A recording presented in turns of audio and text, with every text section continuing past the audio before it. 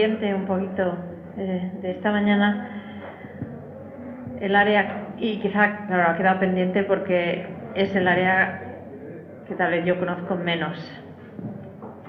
Entonces, el área de el psicólogo del deporte, los objetivos del psicólogo del deporte o de la psicología del deporte dentro de la, de la psicología de la salud. Y simplemente para recordar que manteniéndolo dentro de este, de este punto de vista, entonces mm, me doy cuenta que no, no exactamente por qué, vamos, me lo debo haber dejado, pero no tengo la, la, transparencia de los, ah, de los roles específicos dentro de la psicología de la salud, pero pienso que hay, mm, hay varios, varias áreas ah, diferentes en las que el psicólogo del deporte tiene una intervención y evidentemente es una de las áreas que está, digamos, en formación. Ah, yo pienso que en la mayoría de los, ah, de los países el problema de, de la vida sedentaria en, en, algunas, en algunos sitios es peor que en otros, evidentemente, pero en Estados Unidos yo creo que uno de los problemas de salud pública número uno es la obesidad.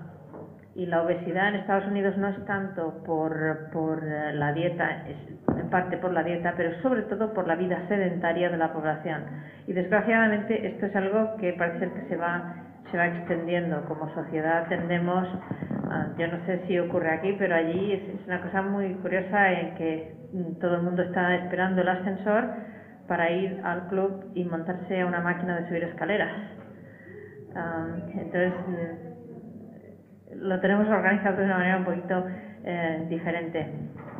Em, evidentemente, el hecho de alterar el, nivel de, sedentario de la población es un objetivo de salud pública general y pienso que aquí sí que los psicólogos del deporte tendríamos, tendríamos un rol en ayudar un poco en la, programación y la formación de eh, los profesionales que se encargan de estas actividades. Entonces, eh, el ayudar a, de nuevo, no solamente eh, que se desarrollen programas que sean adecuados a las necesidades físicas y, fisiológicas de diferentes grupos de edad, etcétera, sino sobre todo que se tenga en cuenta cuáles son las características psicológicas necesarias para que esta actividad física se convierta en una parte habitual de, la persona, del ciudadano. Y eso es quizá lo que se ha, lo que se ha descuidado un poco o que quizá es más, más difícil de hacer, no, no tenemos tanta información, aunque muchas de las ah, áreas de, de salud pública están trabajando en estas cosas. El problema de el, el abandono de la actividad deportiva o de la actividad física en general Em, es algo, es una de las cosas que más se está estudiando. Luego, todo, ¿cuáles son las, eh, variables, por ejemplo, que hacen que eh, algunas personas sean sedentarias y otras no lo sean?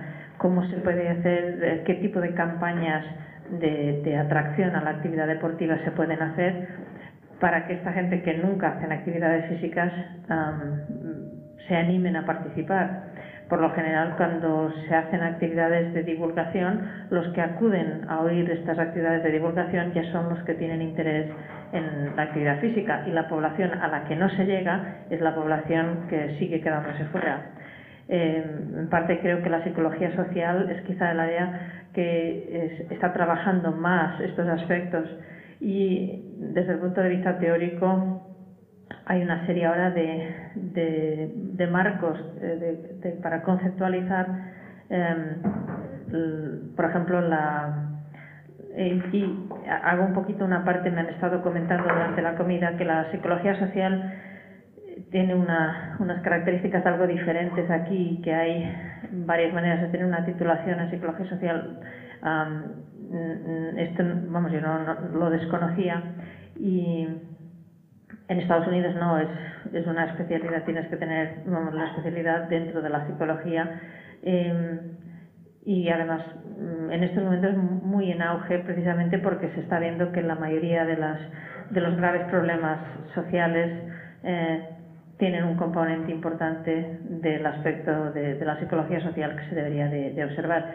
Yo en mi caso, cuando os he dicho que tengo el doctorado en psicología clínica y social, eh, fui al programa este de la Universidad de Illinois donde he estado yo precisamente porque podía hacer un doctorado doble porque nunca he entendido muy bien la psicología clínica sin la psicología social y, esa es mi, un poquito mi, visión de la situación.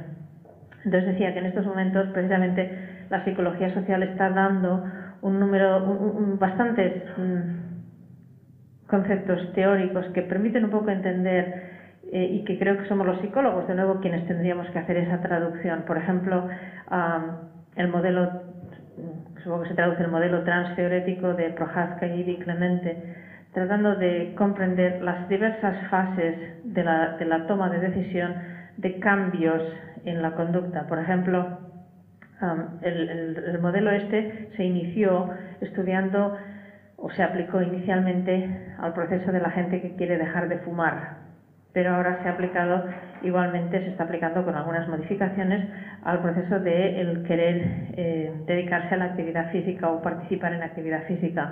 Y este modelo teórico, por ejemplo, dice que la gente mm, se dividen, están en varios estadios diferentes en función de dónde están respecto al cambio, es decir, voy a hacer actividad física. Eh, si alguien está en la fase que se llama de precontemplación, la persona que dice, hablan de actividad física, a mí no me interesa, desconecta, esto no es para mí. A esta persona, aunque desarrolles un programa, una campaña publicitaria extraordinaria diciendo lo beneficiosa que es la actividad física, esta persona no la escucha, esta campaña. Entonces esta campaña va perdida si el, el objetivo nuestro es conseguir que este grupo responda. A este grupo seguramente necesita otra cosa. Y se está ahora estudiando por qué esta persona dice, a mí esto no me interesa, yo no voy a hacer ejercicio. Y están buscando cosas sobre la autoeficacia, sobre todo diciendo, no, es algo que yo no puedo hacer, algo que, que es demasiado difícil. Yo no soy alguien que es deportista, mi autoimagen no contiene este descriptor, de manera que es algo que yo no puedo hacer.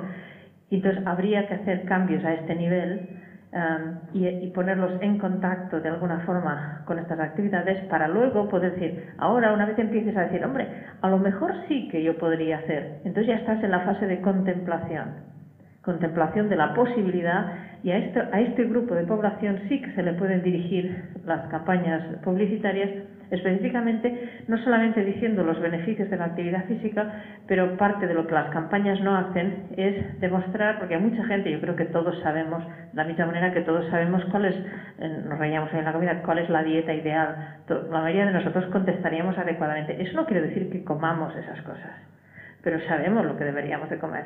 Entonces no es solamente una cuestión de educación y muchas de las campañas se dedican a demostrar los beneficios de la actividad física. Sí, sí, sí, sí. Yo creo que es muy bueno. Lo que pasa es que me canso. Por eso no lo hago.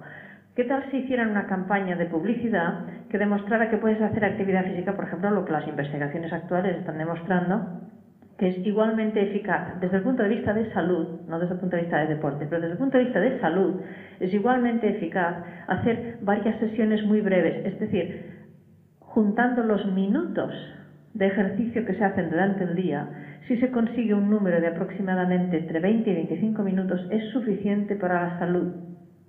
Esto es muy diferente que hacer una sesión de entrenamiento de media hora. Entonces, la persona que se cansa, si se le demuestra que yendo a varios sitios a pie, bajándose del autobús una estación antes, que son cinco minutos a pie, etcétera, puede hacer un programa de ejercicio que es capaz de realizar, donde no se va a cansar, donde no va a estar sudando, etcétera, y que va a tener eh, beneficios para la salud.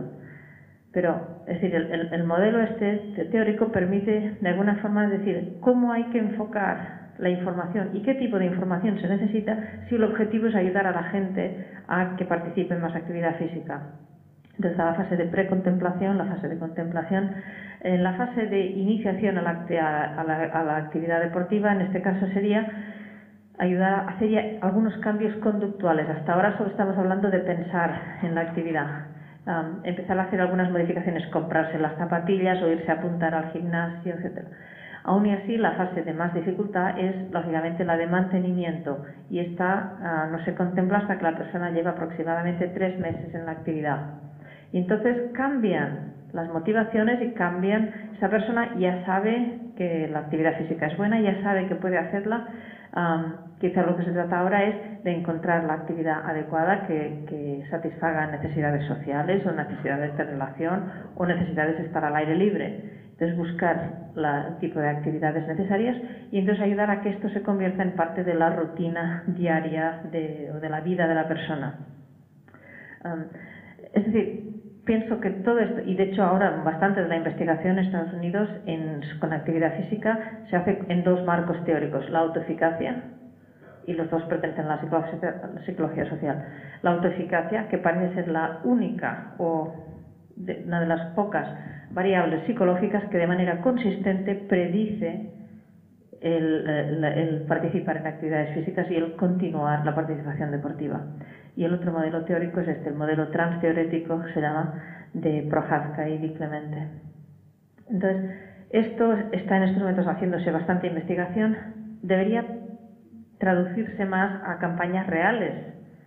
Ah, ahora, claro, el problema está que, como siempre, quiero, como siempre, pienso que los psicólogos creemos que podríamos hacer esto, que tenemos algo que ofrecer, pero las entidades o los organismos que serían los responsables de, pagarnos para que lo hagamos no saben que lo podemos hacer, o quizá no creen que lo podemos hacer.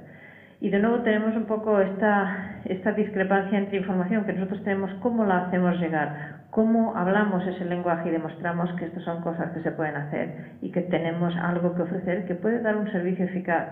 Yo pienso que en, la formación del psicólogo debería haber algunos cursos de marketing. Creo que lo hacemos bastante mal. Ah, pero en fin, pienso que eh, a este nivel, a nivel de, hacer esta traducción y realmente teniendo en cuenta este objetivo de, mantener un nivel de actividad durante a lo largo de la vida del individuo. La población geriátrica es una población que está recibiendo muchísima atención eh, a nivel de actividad física, porque de nuevo parece ser que es una de las pocas intervenciones y fijaros que hay una serie de, áreas en las que, se gasta muchísimo dinero, yo entre otros. cualquier cosa que nos prometa mantener la juventud más tiempo. Entonces, cremas, yo las compro.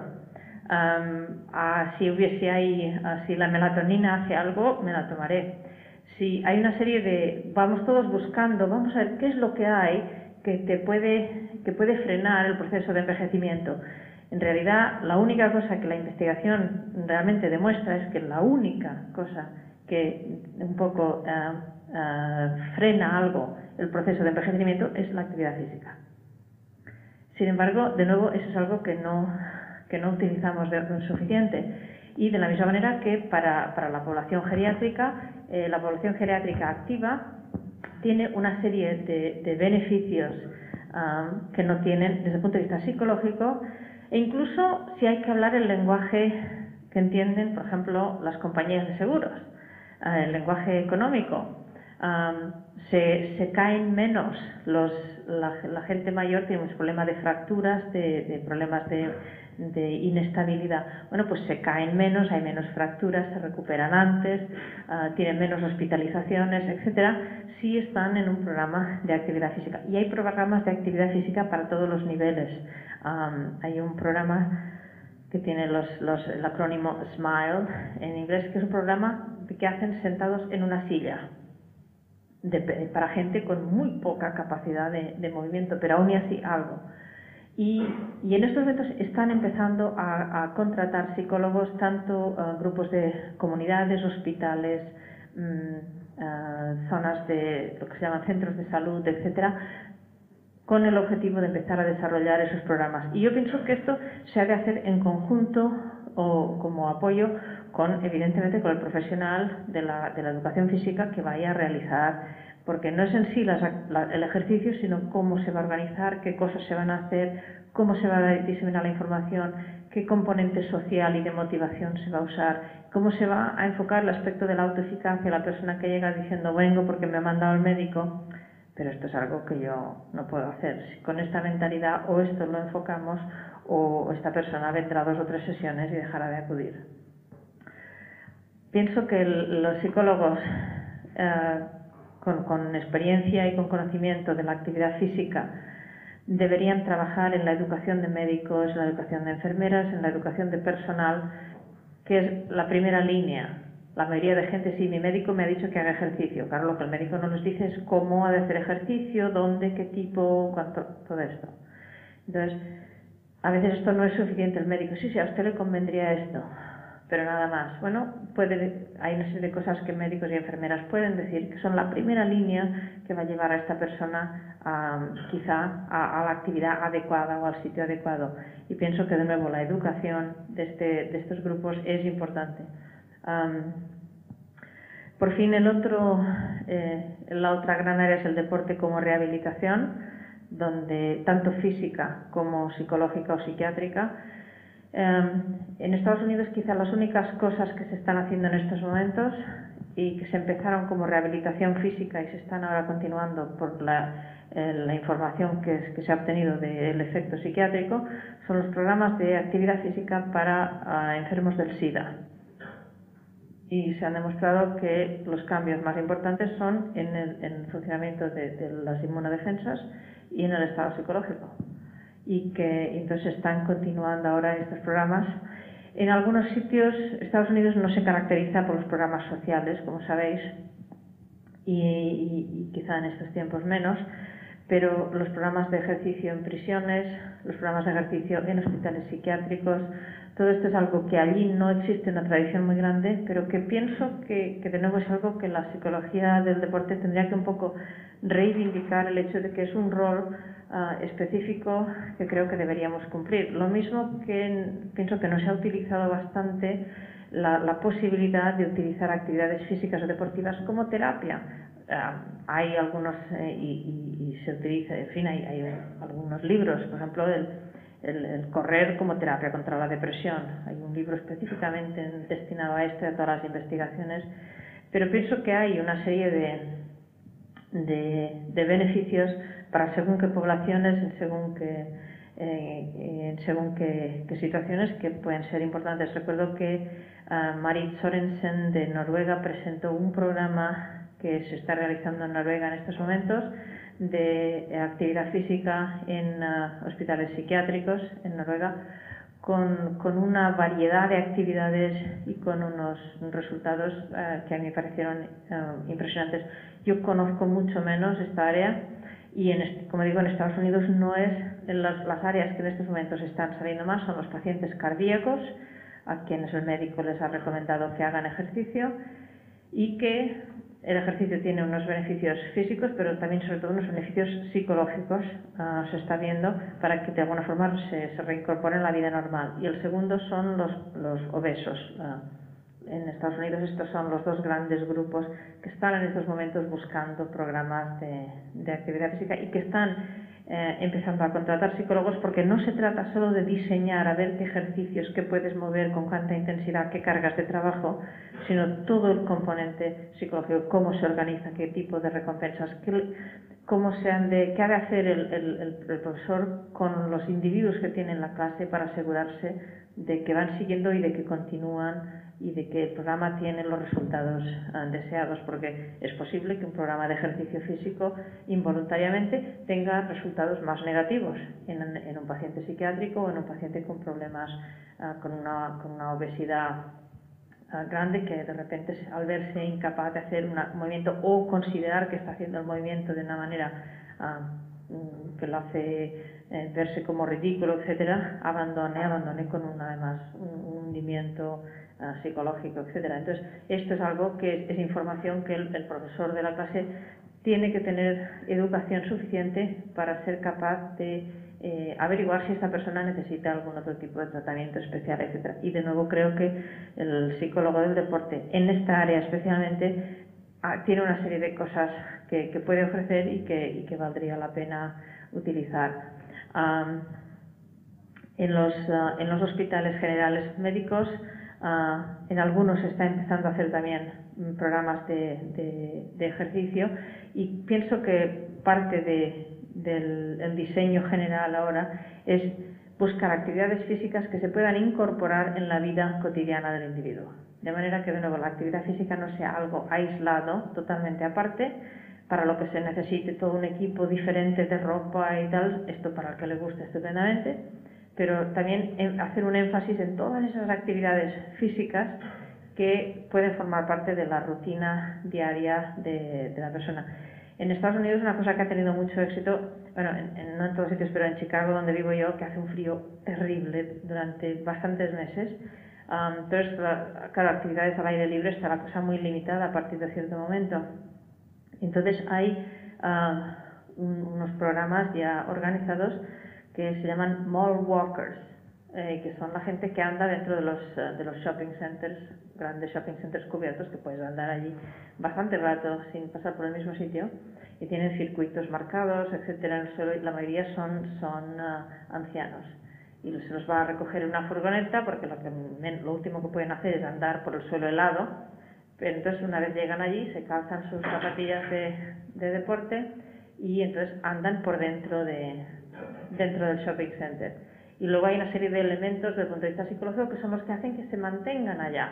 Ah, si, por ejemplo, después se les da opción a hacer alguna actividad social, si esto se convierte no solamente en hacer ejercicios, sino en, en hacer otras cosas. Si, por ejemplo, las, señoras ah, que os mencionaba antes empezaron a un día cada una a traer y una daba una receta especial que a ella le gustaba y se las daba a las demás y se empezaron a establecer una serie de conexiones que hacían que no fallaran casi nunca a la clase de ejercicio. Hacemos muchas eh, cosas también en grupos de dos o tres. Y entonces, ya saben, es que si no voy, a mi grupo le falta uno. Ah, sí, es verdad. De manera que se que cree un poco, que se, se haga un énfasis en esto para incrementar la motivación y que se mantengan en el programa. Todas estas cosas eh, no son en sí ejercicios técnicos que el profesor de educación física tenga que, inventarse, sino que pienso que podríamos ayudar a, ir desarrollando estas cosas. Y que tenemos en estos momentos bastante marco teórico para ver cómo trabajar la autoeficacia, cómo trabajar las variables que de alguna forma sabemos que van a tener una incidencia. De nuevo, no es un área que yo domine y lo que he hecho lo he hecho porque me gusta el terreno y he trabajado con pacientes de dolor cuando eh, terminé el doctorado, trabajé en un hospital psicología de la salud como tal subespecialidad, es luego una de las cosas que hice más, pero no, no me he dedicado mucho. Entonces, no sé si hay cuestiones aquí que, que tengáis vosotros que también dependan de cómo está uh, esta área aquí que, que podemos, uh, que puedo o contestar o o deciros que no sé nada de esto.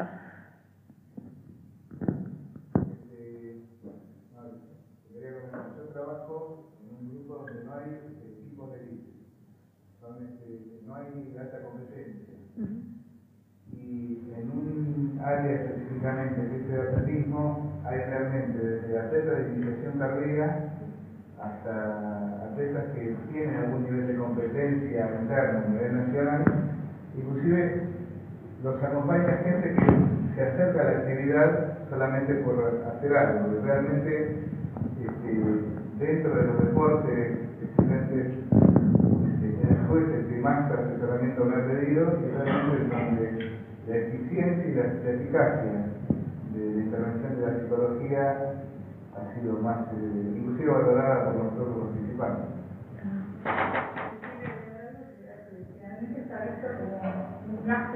El que dentro de todo se mantienen todavía algunas posibilidades de este nivel, cuestiones que no dinero, pero digamos que hay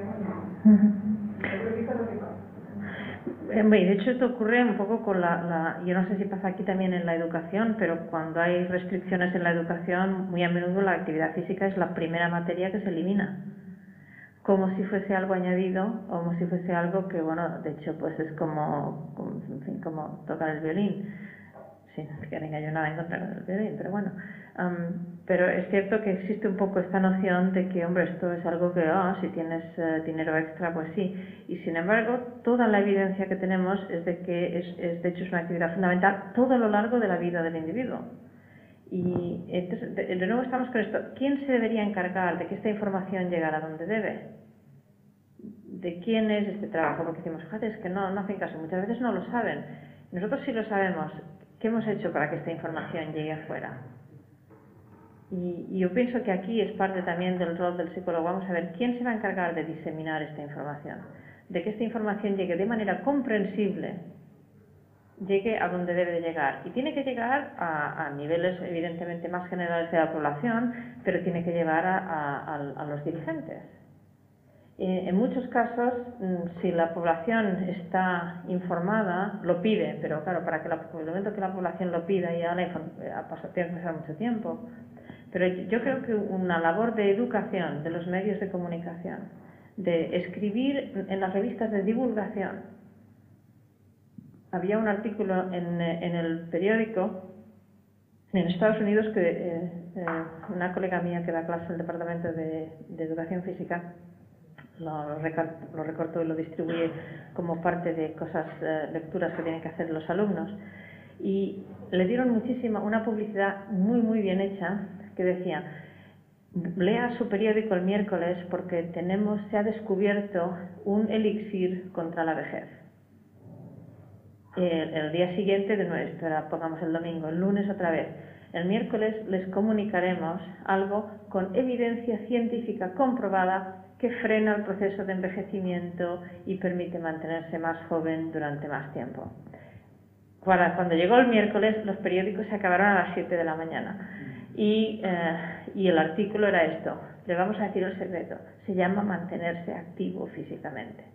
Y entonces daba una descripción de una serie de resultados y trabajos, estudios que se han hecho por el país con diversas poblaciones, diversas edades, etcétera, diciendo mm, buscamos eh, píldoras mágicas, buscamos potingues especiales y en realidad hay algo muy concreto, pero que, que lo tenemos que hacer que no es, no como los que vienen y dicen, yo quiero dejar de fumar, quiero que usted me hipnotice. No, no, usted quiere dejar de fumar y no tener ganas de fumar nunca más. Pues mire, es que yo no sé si esto se puede.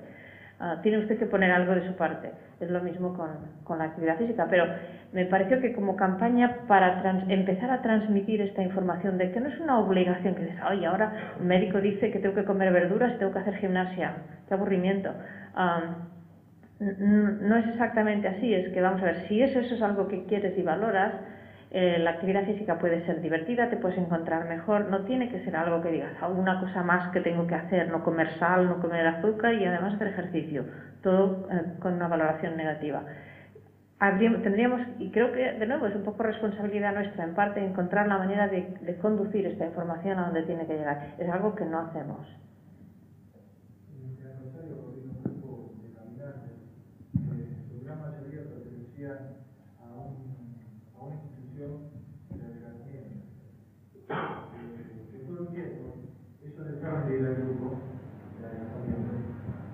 Pero ninguno de ellos quiso dejar la actividad y caminar.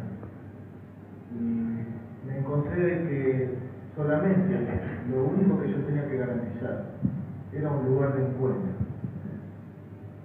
Tres veces por semana esta gente que no se conocía antes, gente de 60, 40 años, que hacía 15 años que no se compró un par de zapatillas, se encontró con otra persona que era igual y que podía hacer lo mismo y que fundamentalmente, algo que me gusta mucho, podían charlar mientras iban caminando.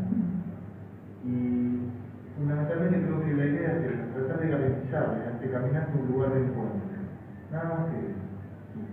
Después el resto, yo creo que usted dijo esta mañana, ¿no? Los ejercicios son lo único que se puede hacer sí. Y aparte que desde el punto de vista epidemiológico, por ejemplo, eh, uno de los problemas de más difícil curación es la obesidad si miras los resultados a largo plazo, todo el mundo pierde peso, pero todo el mundo lo gana de vuelta y más. Entonces, mm, desde el punto de vista de salud pública, es un problema serio. Em, la única mm, probabilidad que tiene, y probablemente esta gente, habiendo dejado el grupo de adelgazamiento, tiene muchas mejores probabilidades de, de adelgazar y conseguir un peso más estable si continúan haciendo ejercicio de manera regular. Pero de nuevo, toda esta información tendría que ser entonces el problema de por qué la gente si lo sabe no lo hace, en gran parte es un problema motivacional y psicológico. Ah, que, que, quizás no sabemos bastante nosotros tampoco, pero que en estos momentos hay ya bastante información al respecto, bastante información eh, científica. Así como en psicología del deporte tenemos menos datos, de esto tenemos bastantes más datos ahora ya.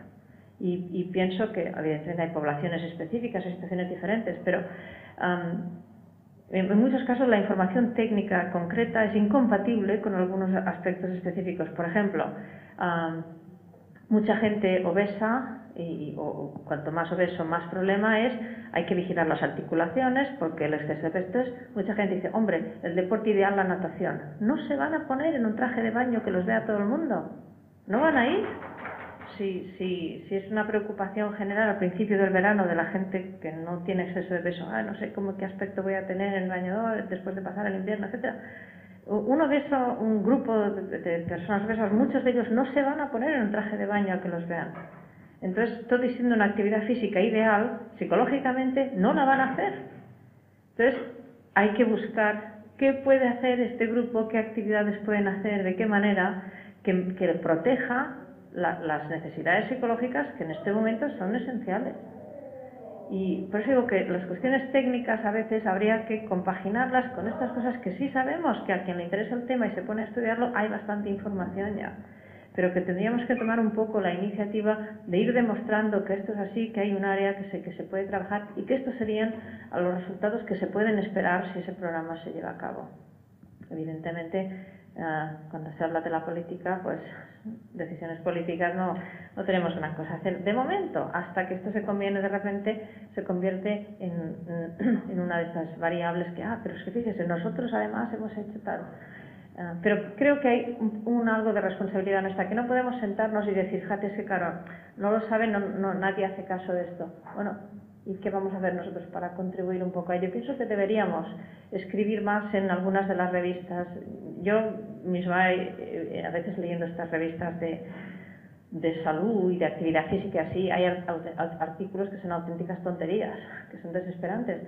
Pero yo no me pongo a escribir uno para mandar a la revista. Entonces, claro, si yo critico y digo, ah, qué, qué tonterías escriben aquí, quizá lo que tendría que hacer es escribir uno y mandarlo pero nos cuesta, claro, tenemos muchas cosas que hacer, pero si algo queremos, ¿no? Que no quiere algo le cuesta, ¿no? Pero pienso que como grupo, como organizaciones, nos tendríamos que, plantear, es decir, pues la asociación va a intentar que se publiquen tres artículos en revistas de divulgación que lleguen a tal población y de vez en cuando, por ejemplo, presentar esta información a los congresos de médicos, las conferencias de médicos, a intentar que esta información llegue a quien tiene que llegar. Y, en parte pienso que, esto sería, lógicamente lo ideal sería que pudiéramos hacer cosas cross, eh, cross-disciplinarias, pero um, si de momento no se hacen, por lo menos hablar a los grupos que tienen algo que ver. Y creo que médicos y enfermeras es un grupo de población que, que si empiezan ellos a pedirlos va a tener un, poco, más de, un poco más de éxito. ¿Alguna pregunta más sobre esto? ¿Dejamos la salud por ahora?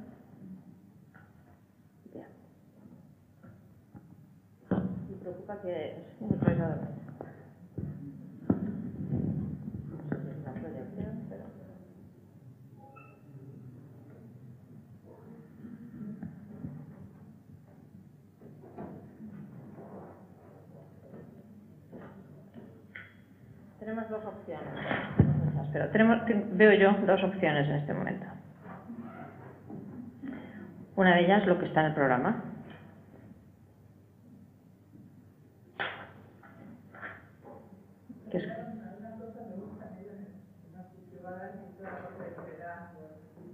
Sí, no estoy segura, me, mandó una lista Raúl de, de como 10 temas diciendo, estos han quedado.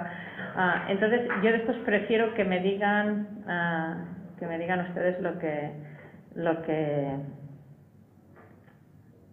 lo que preferirían y, y de estos escoger. No, no, de todos no puedo hablar, eh, de algunos porque no sé, de otros porque, de todos porque no tenemos tiempo, pero de algunos, ah, desde luego sí, o sea que luego haremos una elección de temas la otra cosa que, que puedo empezar a explicar, y esto vamos a hacer una lección rápida aquí ahora.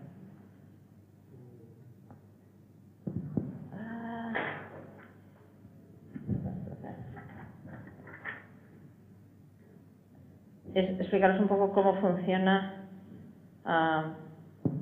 no, no, no necesariamente la psicología aplicada al alto nivel, sino el modelo que tenemos en el equipo de atletismo de Estados Unidos. Son dos cosas bastante diferentes. Pero, y de todas formas, mañana hablaré más de las intervenciones en las grandes competiciones y de un programa de periodización de las, ah, del entrenamiento de las aptitudes psicológicas aplicado a un, a un modelo deportivo concreto. Entonces, vamos a ver, voluntarios o interesados, ahora hablaré de los dos temas, o ahora o más tarde o mañana, pero interesados en este tema, levantar la mano.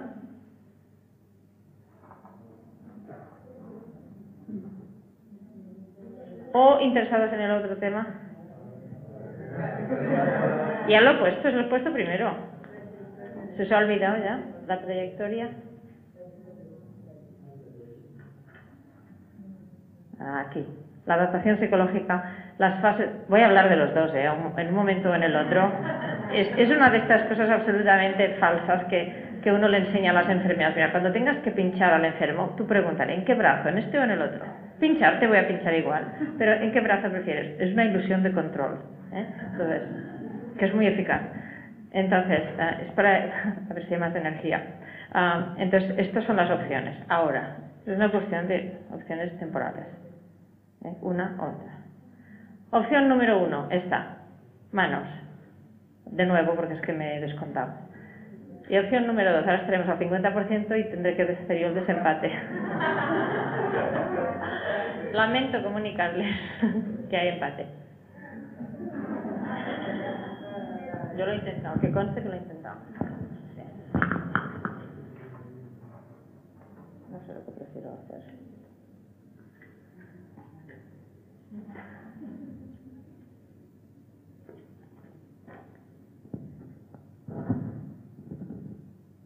Bueno, empezaré con este y veremos a dónde vamos.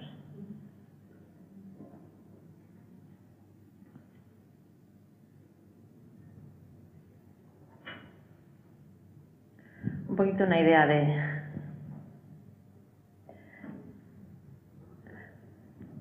Cuando hablo de, la, trayectoria deportiva del deportista de alto nivel, es un poco lo que me refería esta mañana, de que, en mi opinión, hay una serie de puntos clave en la vida del deportista que requieren una adaptación psicológica. Si esta adaptación psicológica no existe, no se realiza, pienso que hay un riesgo serio de que eh, eh, este deportista, independientemente del nivel ah, deportivo, del nivel atlético de la persona, hay un riesgo elevado de que esta persona no continúe en la práctica del deporte. Entonces, mm, voy a utilizar como un poco como, marco teórico, quizá debería aclararlo también, mi, formación en, psicología clínica, mi formación, mi enfoque teórico es cognitivo,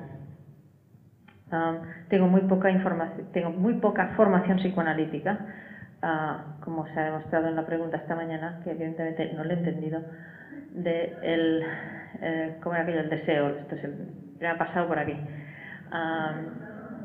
y eh, entonces tengo poca, o sea, tengo bueno, una formación general, eh, o sea, sé de qué van las, las, palabras básicas y las que ya no son básicas, tengo que dejarlo estar. Pero, por otra parte, pienso que, en, la, experiencia, tratando de solucionar, o sea, ofrecer una respuesta a las preguntas que ofrece la psicología del deporte, evidentemente que el marco teórico, en mi opinión, ayuda a, tener un poco claro de dónde vienes y a dónde vas, y no necesariamente cómo vas a llegar allí. Entonces, mm, yo pienso que incluso, y de hecho he estado bastante en trato con, hay un grupo en Francia que está trabajando bastante en psicología del deporte con un marco psicoanalítico. Y, um, y tienen incluso una revista, tiene pocos números, o sea, sale de manera irregular, pero están trabajando bastante. Y, y uno de, mis eh, colegas allí ha empezado a trabajar ahora con algunos equipos nacionales eh, en Francia y una de las cosas que, hemos estado discutiendo es el hecho de que el tratamiento tradicional, en las intervenciones tradicionales eh, psicoanalíticas, no se ajustan muy bien a las necesidades inmediatas de la psicología del deporte. Y entonces eh, el marco teórico todavía te puede servir igual para entender cuáles son los procesos. Lo que no te sirven son las intervenciones concretas, porque el objetivo en el psicoanálisis nunca es una resolución rápida o de síntomas o de... Entonces, si pasa en psicología del deporte, pienso que entonces la responsabilidad es tratar de dar una respuesta a las preguntas. Si se considera que no se puede, después hablamos de otra cosa. Pero pienso que, eh, que sí se puede y que, y que es cuestión de adaptar entonces las técnicas y las estrategias y que evidentemente la mayoría de los teóricos que, se han, que han trabajado en psicoanálisis pienso que no se han planteado cuestiones como las específicas de la psicología del deporte. Si se las plantearan probablemente también convendrían en que estas intervenciones con un objetivo diferente eh, tienen que ajustarse a la realidad de la demanda.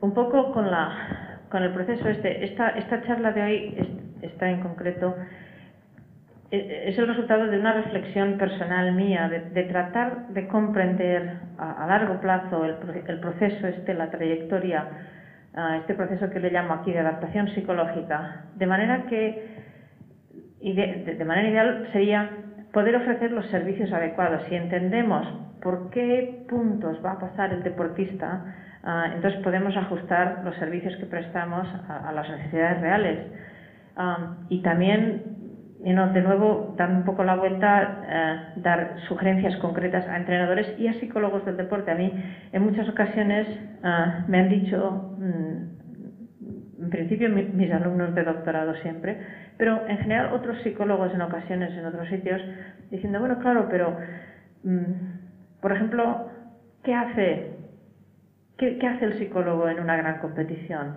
¿O qué hace el psicólogo que viaja con un equipo? ¿Dónde se aprende esto? Porque no está en los textos, no está en la formación tradicional del psicólogo. De hecho, la formación tradicional del psicólogo, el rol tradicional del psicólogo es, es diferente en muchas cosas. Y, es, es, es, importantísimo para mí el saber qué es lo que puede ser diferente y qué es lo que no puede ser diferente. Hay, hay, creo que hay conductas y hay barreras que no se pueden ni se deben romper. Pero hay otras que son, la situación es diferente, es que no hay, no hay más remedio que aceptar la situación. Entonces, ¿hasta qué punto aprende uno? Podemos dar sugerencias luego a psicólogos del deporte. Eh, muchas de estas cosas están basadas en mi experiencia y pues con eso tendremos que ir. Habéis visto en, el, en lo que he puesto como marco teórico que yo utilizo el marco teórico de, un autor que se llama Hopful, y él habla, y él habla de un concepto que yo pienso que, que todo el mundo que tiene una formación psicoanalítica eh, entiende rápidamente, todo que este concepto viene desde, desde una noción muchísimo más cognitiva. Hopful define el estrés como una reacción al medio ambiente donde hay o la amenaza de la pérdida de recursos o una pérdida real de recursos o bien una situación en la que tras una inversión de recursos no se han producido las ganancias esperadas. Esto parece una definición de economía, pero en realidad, eh, ¿qué son los recursos? Pues los recursos pueden ser recursos mm, tangibles, eh, dinero, mm, posición eh, en el, en el, eh, ranking, mm, recompensas materiales concretas, etcétera. como en esta competición en Alemania, que el premio siempre es un Porsche y hay mucha gente que va a la competición a ver si consiguen el Porsche. o pueden ser los recursos percibidos, la autoestima, la, la aprobación de los demás, la admiración pública, estos son recursos percibidos. Lógicamente hay una gran, una gran variedad de, de recursos y, lo que, y el valor que tienen diferentes recursos es diferente para distintos individuos. Pero pienso que si imaginas que cualquier situación en la que se produzca de manera consistente esto, una pérdida de recursos, es decir, que en una competición en la que se produzca por el resultado una pérdida de la admiración pública o una pérdida de la estima personal, va a causar una reacción de estrés. en el individuo. Una situación en la que exista la posibilidad de la pérdida de recursos. Cuando sabes que vas a competir en un sitio y hay, la eh, hay una, expectativa general de que tienes que ganar, y si no es así, entonces las consecuencias van a ser negativas. En deporte mm, tiene que tenerse siempre la posibilidad, la ya lo Hay que aceptar la posibilidad de que, mm, de que el resultado puede ir de una manera o de otra, que se puede ganar o se puede perder. Cuando esto no es así, cuando alguien se enfrenta a una competición donde la única posibilidad que se le permite es el ganar, entonces hay una amenaza de pérdida de recursos grande, porque si no, recursos ah, tanto puede ser económicos como el deportista, que si no ganas esto no vas, a no vas a estar seleccionado. Por eso es que las pruebas de selección olímpica, por lo general, son las pruebas que causan más estrés, más que los Juegos Olímpicos en muchas ocasiones, por lo que representan para, eh, para el individuo. O bien situaciones en las que se ve una inversión de recursos grande y no se eh, nota una ganancia ah, considerable. Esto es la definición de, de estrés de Hopford, tal cual, es así. Él no trabaja necesariamente con, con deporte, pero cada vez que yo he leído el modelo, él presenta todo un modelo relativamente complejo, que por cierto creo que tengo el libro de texto conmigo, el libro mm, que habla de su modelo del estrés, creo que lo he traído conmigo, si alguien tiene interés en, en verlo. Pero mm, a mí esta definición de estrés mm, me gusta porque utilizamos muchas de las, de las, definiciones normales de Lazarus y todo esto, diciendo estrés es eh, una reacción a cualquier cambio en el medio ambiente que requiera una adaptación por nuestra parte. Pero yo pienso que no es exactamente así, que no es todo cambio. Si es un cambio en el que se ve un aumento de recursos, no se produce estrés. Si cambia la situación, pero ves que has adquirido más cosas, no es necesariamente estresante. Entonces, eh, pienso que eh, esta, este marco, esta definición de estrés mm, me parece útil. Y el otro componente, para los que mm, me conocen o han seguido, han estado en el, estuvieron aquí hace ya seis años. el otro marco teórico con el que yo trabajo es la, teoría de objetivos motivacionales.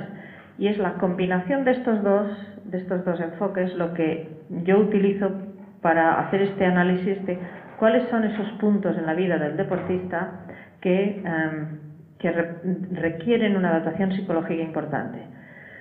La teoría de objetivos motivacionales de Nichols, que por cierto, si sabes que Nichols falleció hace un año y poco en Chicago, sí. Nichols habla de que el objetivo, simplemente voy a dar una, definición, si, luego os interesa hablamos de esto con más detalle, pero Nichols habla de que eh, en una situación de logro, como es una, una situación de competición deportiva, el objetivo es siempre demostrar habilidad y al mismo tiempo evitar demostrar falta de habilidad. Este es el lenguaje de la, motivación del logro. El objetivo es siempre demostrar habilidad y evitar demostrar falta de habilidad. Entonces, lo que es central aquí es qué es habilidad, cómo se define el concepto de habilidad. Y para Nichols, en deporte, hay dos conceptos de habilidad que en estos momentos algunos teóricos están hablando de esto casi, casi como una dimensión de personalidad, ah, como una gente que tiene esa definición de habilidad, que ve la habilidad, el concepto uno, como maestría, como dominio de la tarea, es decir, es autorreferente. Ah, demuestras habilidad cuando haces algo mejor hoy de lo que lo hacías ayer. Cuando dominas una tarea nueva, eres capaz de resolver un problema que antes no podías resolver, estás demostrando habilidad en este concepto. Y la causa, cuando dices por qué has demostrado, por qué has hecho esto bien, porque has puesto esfuerzo, porque has trabajado duro. O el concepto primero de, habilidad se ve, habilidad se equipara a mejoría, aprendizaje, dominio de una, de una dificultad y como elemento causal se ve el esfuerzo. El poner esfuerzo en la tarea es lo que te lleva a la satisfacción. La otra concepción de habilidad muy diferente. Es una eh, concepción de habilidad que implica referencia social, implica comparación. Y aquí demostrar habilidad, demuestras habilidad cuando eres mejor que, mejor que otro, ganas a otra persona, le superas en algo, entonces demuestras habilidades siempre con referencia a otros. Y la causa por qué eres mejor que otros, porque tienes talento. Ah, una, cosa interesante a, observar es que en, estos dos conceptos, maestría y comparación social, el, papel del esfuerzo es un, poquito un arma de doble filo. En el concepto de habilidad como maestría, como mejoría, el esfuerzo es esencial para mm, salir adelante, para mejorar, para ganar. Pero en el, si, si alguien tiene una definición de habilidad como ser mejor que los demás, y esto es algo que ocurre mucho en deporte, el medio ambiente refuerza esta noción de es que este chico tiene mucho talento, el que gana de manera consistente. Fijaros qué ocurre con la noción de esfuerzo. Si alguien dice que para ganar tiene que poner mucho esfuerzo, ¿qué implica esto? Pones mucho esfuerzo cuando no tienes bastante talento. Entonces, los entrenadores quieren que los deportistas pongan mucho esfuerzo en el entrenamiento, pero quieren que tengan mucho talento natural en la competición. Es una contradicción imposible de resolver. Y a menudo los entrenadores entrenan esta contradicción. Quieren que el entrenamiento, deportista ponga mucho esfuerzo, pero luego les gustaría ese deportista que gana con mucha facilidad y que tiene ese talento natural que o se tiene o no se tiene, que esto es lo, que se transmite en principio.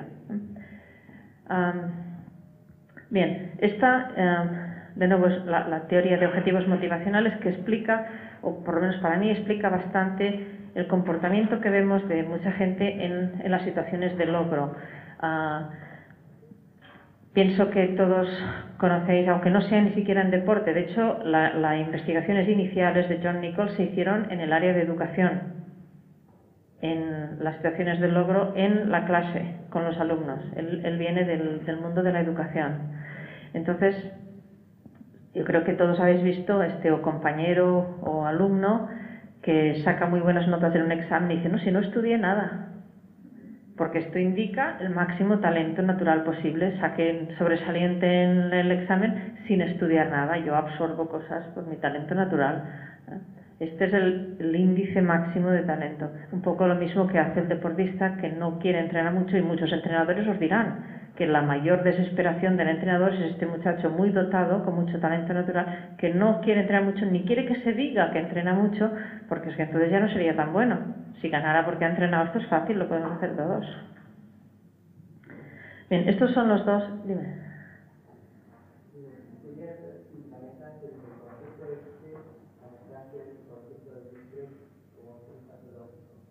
Mm, no.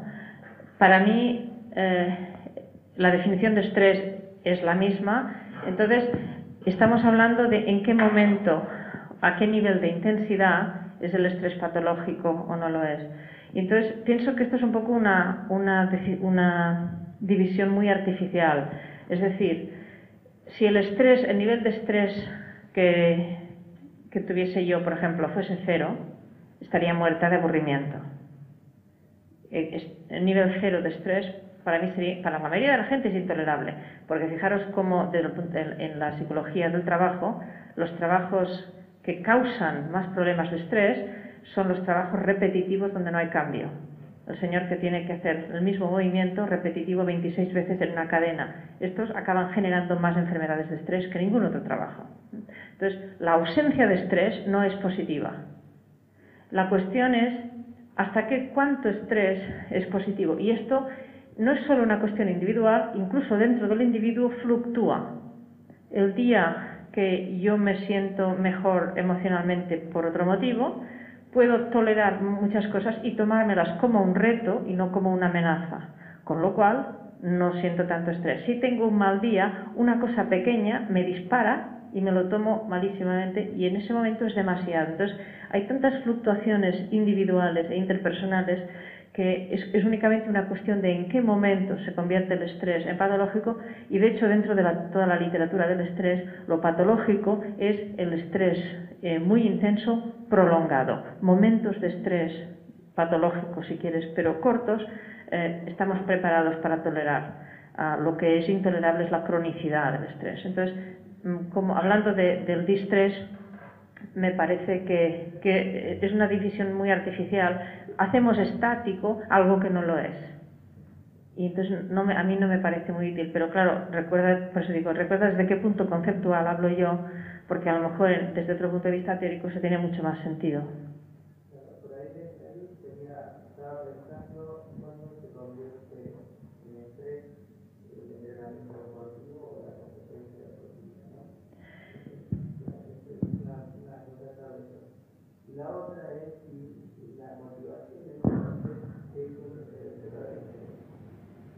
No entiendo la expresión si la motivación es un referente para el estrés.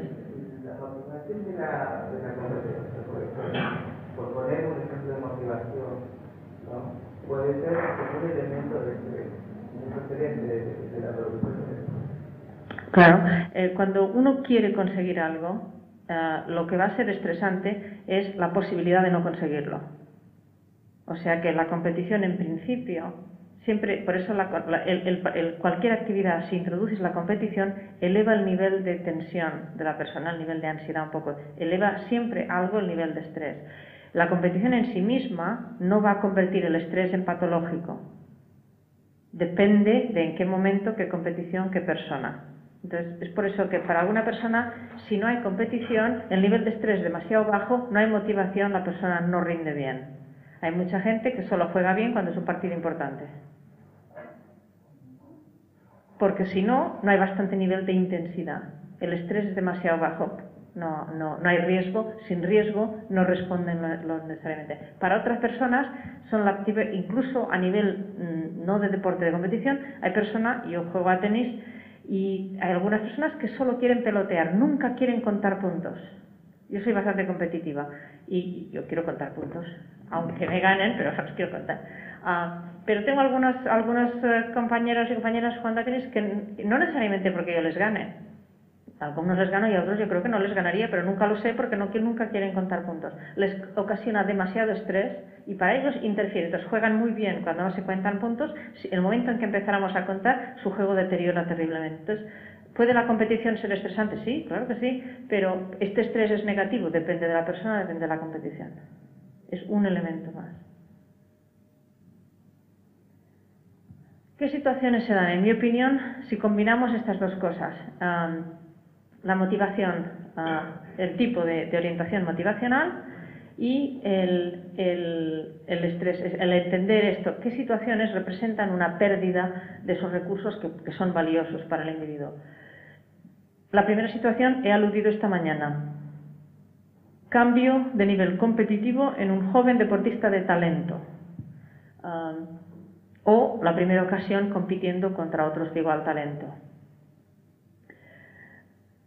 En el momento en que este deportista dotado, joven, pasa a nivel senior, por ejemplo, y de repente pues la altura de las vallas cambia o la distancia que tiene que correr es mayor o empieza a competir con otra gente que también son muy buenas. En estos momentos se produce en muchas ocasiones, claro, mirar a todas las todos los recursos que se ven perdidos en ese momento. Por algunos deportistas, por otros no. Ah, pero, para algunos deportistas. Este es el, deportista joven de talento que el entrenador, la, pregunta típica o la, la, situación típica que el entrenador me presenta tiende a ser, ah, es que este, este, este muchacho, esta muchacha, si cambiara esta técnica, si cogiera la raqueta de esta otra manera o si cambiara la zancada, llegaría mucho más adelante, pero no consigo que cambie nada. ¿Por qué? Porque lógicamente si estás acostumbrado a jugar de una manera y te cambian la empuñadura de la raqueta, al principio juegas peor. Este deportista no tolera un descenso eh, de este rendimiento. Si te cambian la zancada, al principio no te sale la carrera de la misma manera. Entonces, el deportista que no tolera esto, que no tolera ninguna pérdida de este tipo de recursos, este es el deportista típico que ha tenido siempre mucho éxito, con mucha facilidad. Y este deportista pienso que si, trabajáis con alguien o seguís a alguien que anticipáis el cambio va a pasar al nivel superior o va a empezar a competir, por ejemplo, en algunas ocasiones es el, eh, yo no sé si aquí hay los centros de entrenamiento donde muchachos de, talento en, España, por ejemplo, están los centros de alto rendimiento. Entonces, estos muchachos que estaban compitiendo a nivel local y eran la estrella local, cuando van al centro de alto rendimiento no son la estrella. O los muchachos que van a la selección nacional juniors. Eran muy buenos en su club, eran muy buenos en su zona, en la selección nacional son uno más, es posible que un suplente. Es una situación de alto riesgo psicológico. Y aquí pienso que como psicólogos del deporte tendríamos que intervenir, tendríamos que trabajar con el entrenador. Este es un grupo posiblemente de mucho talento físico, donde muchos no van a continuar porque hay una serie de elementos aquí que, pienso que lo convierten en una, en una, etapa de alto riesgo psicológico. Una transición que si no se hace esta transición de manera positiva, el riesgo de abandono deportivo es enorme. Y que pienso que es lo que ocurre en muchas ocasiones la, situación típica es esta atribución del éxito al talento, de manera que se ven, lo que os decía antes, el talento y el esfuerzo se ven como conceptos opuestos. Lógicamente, con mucho talento natural se llega hasta cierto nivel, pero si quieres luego pasar ya al nivel submáximo o si quieres conseguir el máximo nivel de rendimiento, hay que poner esfuerzo. El deportista que considera que si pone esfuerzo está demostrando poco talento, ese deportista se encuentra en una situación totalmente bloqueado, frenado. Entonces, aquí es cuestión de trabajo. Yo he estado trabajando, y eso que cuando me, la, cuando me llamaron la entrenadora dije, no, trabajaré con los padres si acaso, pero con ella no. Pero hablé con los padres y la niña insistió en venir a verme, ya me gustó esto me gustó el hecho de que ella dijo, yo quiero ir. Una niña de 12 años. A mí 12 años me parecía demasiado pronto para trabajar con un psicólogo. Y pensé, no le compliquemos la vida, tiene 12 años nada más. Es una patinadora, y patinaje, eh, sobre hielo. Patinaje sí que efectivamente compiten bastante temprano. Pero la entrenadora vino a verme y me dijo, esta niña, y me describió esta situación, esta niña no quiere modificar elementos porque no puede tolerar lo que ella llama ningún fracaso. Entonces, claro, no va a mejorar y tiene que pasar al nivel siguiente ya, tiene, ha ganado dos años seguidos su nivel, por edad podría seguir todavía un año más, pero es una pérdida de tiempo para ella, no, no, no va a aprender nada y no la podemos convencer. Y, yo, bueno, a ver si hablo con los padres porque ven esto, esta niña, una niña tan perfeccionista ya a los 12, algo aprendido pero vinieron los padres con ella porque ella insistió que no iban a hablar de ella sin, estar ella presente y pensé, bueno, pues vamos a ver. Y luego eh, hemos hecho unas cuantas sesiones, sesiones juntas. Y entonces estuvimos hablando de, vamos a ver, ¿qué representa si ganas siempre? ¿Qué quiere decir? Y dice, que eres muy bueno. ¿Vale? Opción número uno. ¿Qué más puede querer decir? O que los demás son muy malos. Quizá. Ah, ¿Qué más? que la competición es demasiado fácil. Quizá no es que los otros sean malos, pero es otro nivel y, ah, y empezó a mirar así, hmm, ¿dónde vamos? Ah, entonces, eh, estuvimos hablando y vamos a ver, ¿qué, eh, ¿cuál es tu objetivo? ¿Es ser la mejor patinadora de 12 años o de 13 años? No. ¿Qué quieres ser tú? Yo, la mejor patinadora ¿Y cuántos años tendrás cuando seas la mejor patinada? Pues yo tendré 17, parece que dijo. Número que a ella le pareció, faltan tantísimos años, claro. Cuando sea vieja o tenga 17 años, vale. Muy bien. Ah, entonces, ¿cómo vamos a llegar allá? Mm, y entonces empezamos a decir, bueno, tú, tú piensas, una niña efectivamente con muchas tendencias obsesivo-compulsivas que la hacen muy buena en entrenamiento, excelente, y, entonces decidimos eh, conjuntamente en un par de sesiones que lo que iba a empezar a probar en este momento, considerando que ahora empieza la sesión y no tiene ninguna competición importante, importante hasta el mes de, febrero marzo, que iba, su objetivo iba a ser probar tres cosas nuevas o arriesgadas en cada entrenamiento. y yo no quiero ni saber si le han salido bien o mal nada más quiero que apunte cuántas ha probado.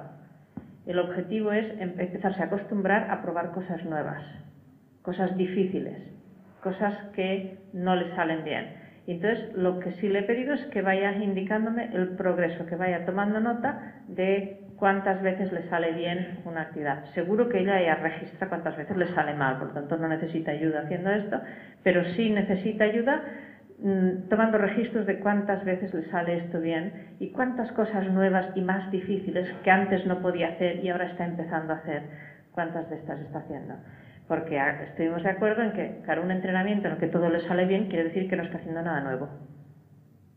Y entonces ella misma decidió que quizá. Pero claro, pienso que, que esta era una entrenadora muy hábil que captó muy rápidamente que, cuál era el problema con esta niña. Porque, porque si no, el problema nos lo encontramos ya cuando esta niña abandona la competición al, pasar de nivel. y entonces, es un poco esto que definir el éxito no como el ser mejor que los demás, sino en algunas ocasiones definir el éxito como el mejorar. Y, es un poco aquí donde, donde he estado trabajando con ella, en el intentar modificar un poco cómo define ella el éxito. Evidentemente entonces introduje a los padres, introduje a los entrenadores dije, no quiero que nadie le diga, uy, no te ha salido bien, lástima. Porque claro, si eres el entrenador y dices, estamos probando esta jugada, y el, jugador te hace la jugada nueva, pero la hace mal y el entrenador hace este jugador no la prueba la próxima vez. Entonces has de decir, estupenda, has probado la jugada, la próxima vez además haz esto, o cambia lo que sea. Pero es importantísimo que, esto se refuerce por todo, por todo el ambiente, evidentemente. Entonces, a, a, mí esta me parece un momento clave. Creo que a este nivel probablemente se pierden más deportistas que a ningún otro nivel hay cosas que compiten con esto también. El proceso en que salen muchas otras actividades que son llamativas, que, los deportistas quieren hacer, eh, es asociado a la edad, evidentemente, o sea, hay otras cosas, pero pienso que es uno de los momentos que tendríamos que preparar a entrenadores y a deportistas y estar empezando. Qué intervenciones podríamos hacer, es decir, como psicología del deporte, quizás no se trata únicamente de enseñar relajación, de enseñar atención, sino también de,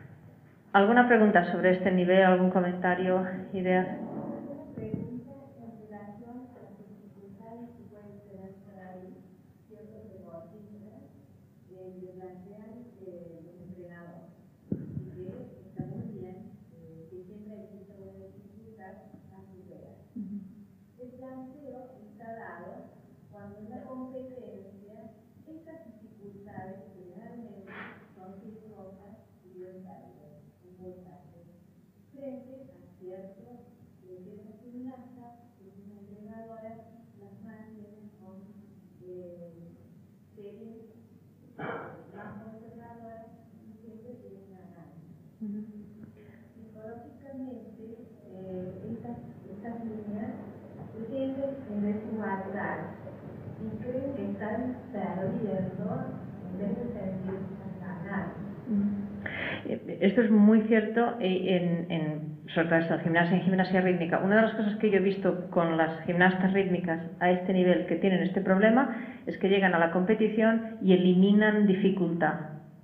No hacen un gesto que es más difícil, más arriesgado, porque lo importante es agarrar el aro y que no se escape y no hacer el ejercicio que tiene el máximo riesgo.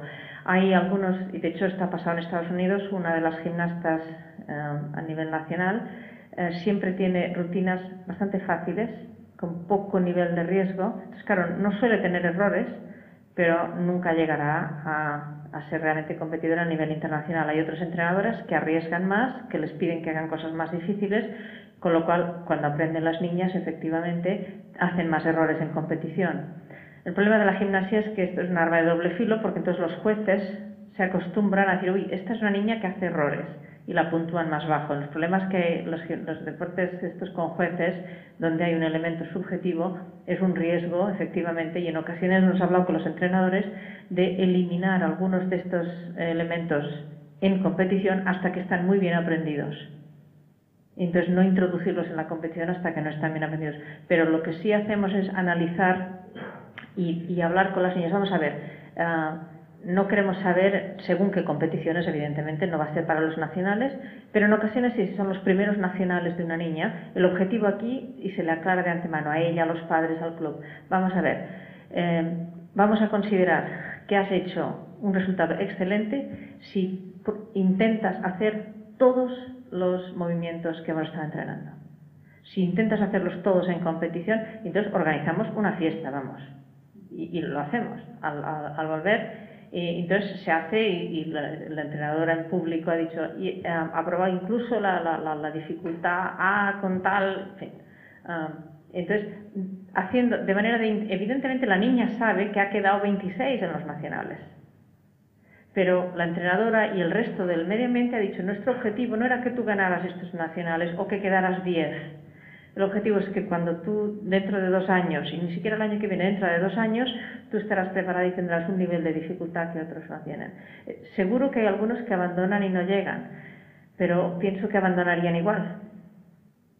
Entonces, mm, ahora esto no se puede hacer con un entrenador o una entrenadora que no, esté, no tenga muy claro que este es el objetivo, porque desgraciadamente lo que ocurre muchas veces es que el entrenador, con muchas presiones ambientales, dice, sí, sí, estamos probando todas estas técnicas, pero aquí tengo que poner a este, que le pasen el balón, nada más pasarle el balón a este y que enceste, porque esto es lo que nos va a hacer ganar y si no gano, aquí no hay programa.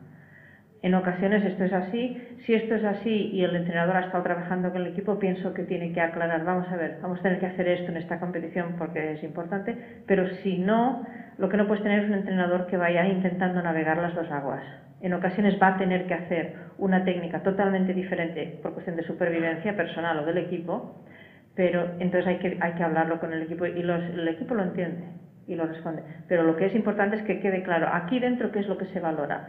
El entrenador no puede decir aquí se valora el esfuerzo y después premiar al deportista de más talento que no viene a entreno. Eso no puede hacerlo, porque entonces lo que está diciendo el entrenador es, sí, sí, el esfuerzo es estupendo, pero aquí lo que realmente vale es es medir metro 95 o, mm, o, ser, o ser muy rápido. Entonces está diciendo que realmente el esfuerzo no es apreciado. Pero claro, esto requiere una, un, entrenador que realmente trabaje esto y sea consistente. Esto no siempre lo tienes. Y, y, a veces pues, has de intentar eso, trabajar con el entrenador y analizar la situación. Es lo que os decía un poco esta mañana. El estrés del entrenador es enorme y en muchas ocasiones los entrenadores toman decisiones basado en su propio nivel de ansiedad y no basado en, nada más. Cuando el entrenador está nervioso, entonces hace una sustitución de estas vengas igual. He dicho que no ibas a participar en el partido porque has faltado tres entrenamientos, pero estamos perdiendo, vas a jugar.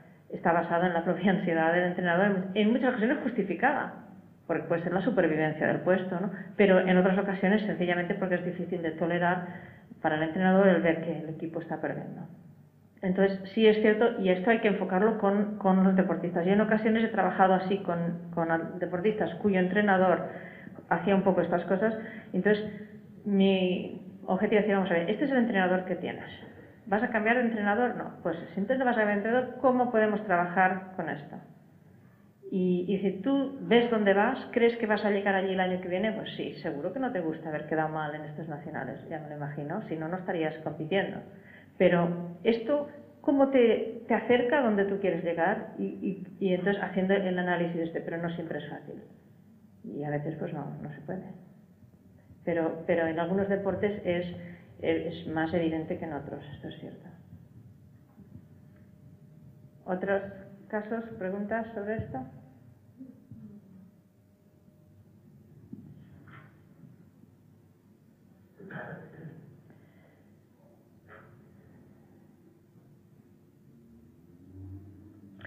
el, segundo, el segundo punto crítico que yo veo, y de nuevo, yo pienso que esto no es, no es ni, mucho menos una relación exhaustiva, pero es, una reflexión poco personal mía sobre lo que yo considero puntos críticos que si sabemos que alguien va a estar en esta situación, hay que prestar atención. Desde el punto de vista psicológico, ¿qué puede necesitar esa persona?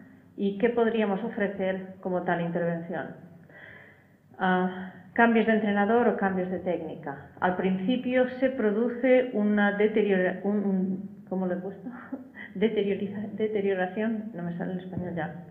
Se deteriora el rendimiento, exactamente. esto me, pasa más en inglés en general, tengo que escribir una palabra en la pizarra y les digo a los alumnos, ¿cómo decís esto? Pues eso. ¿eh?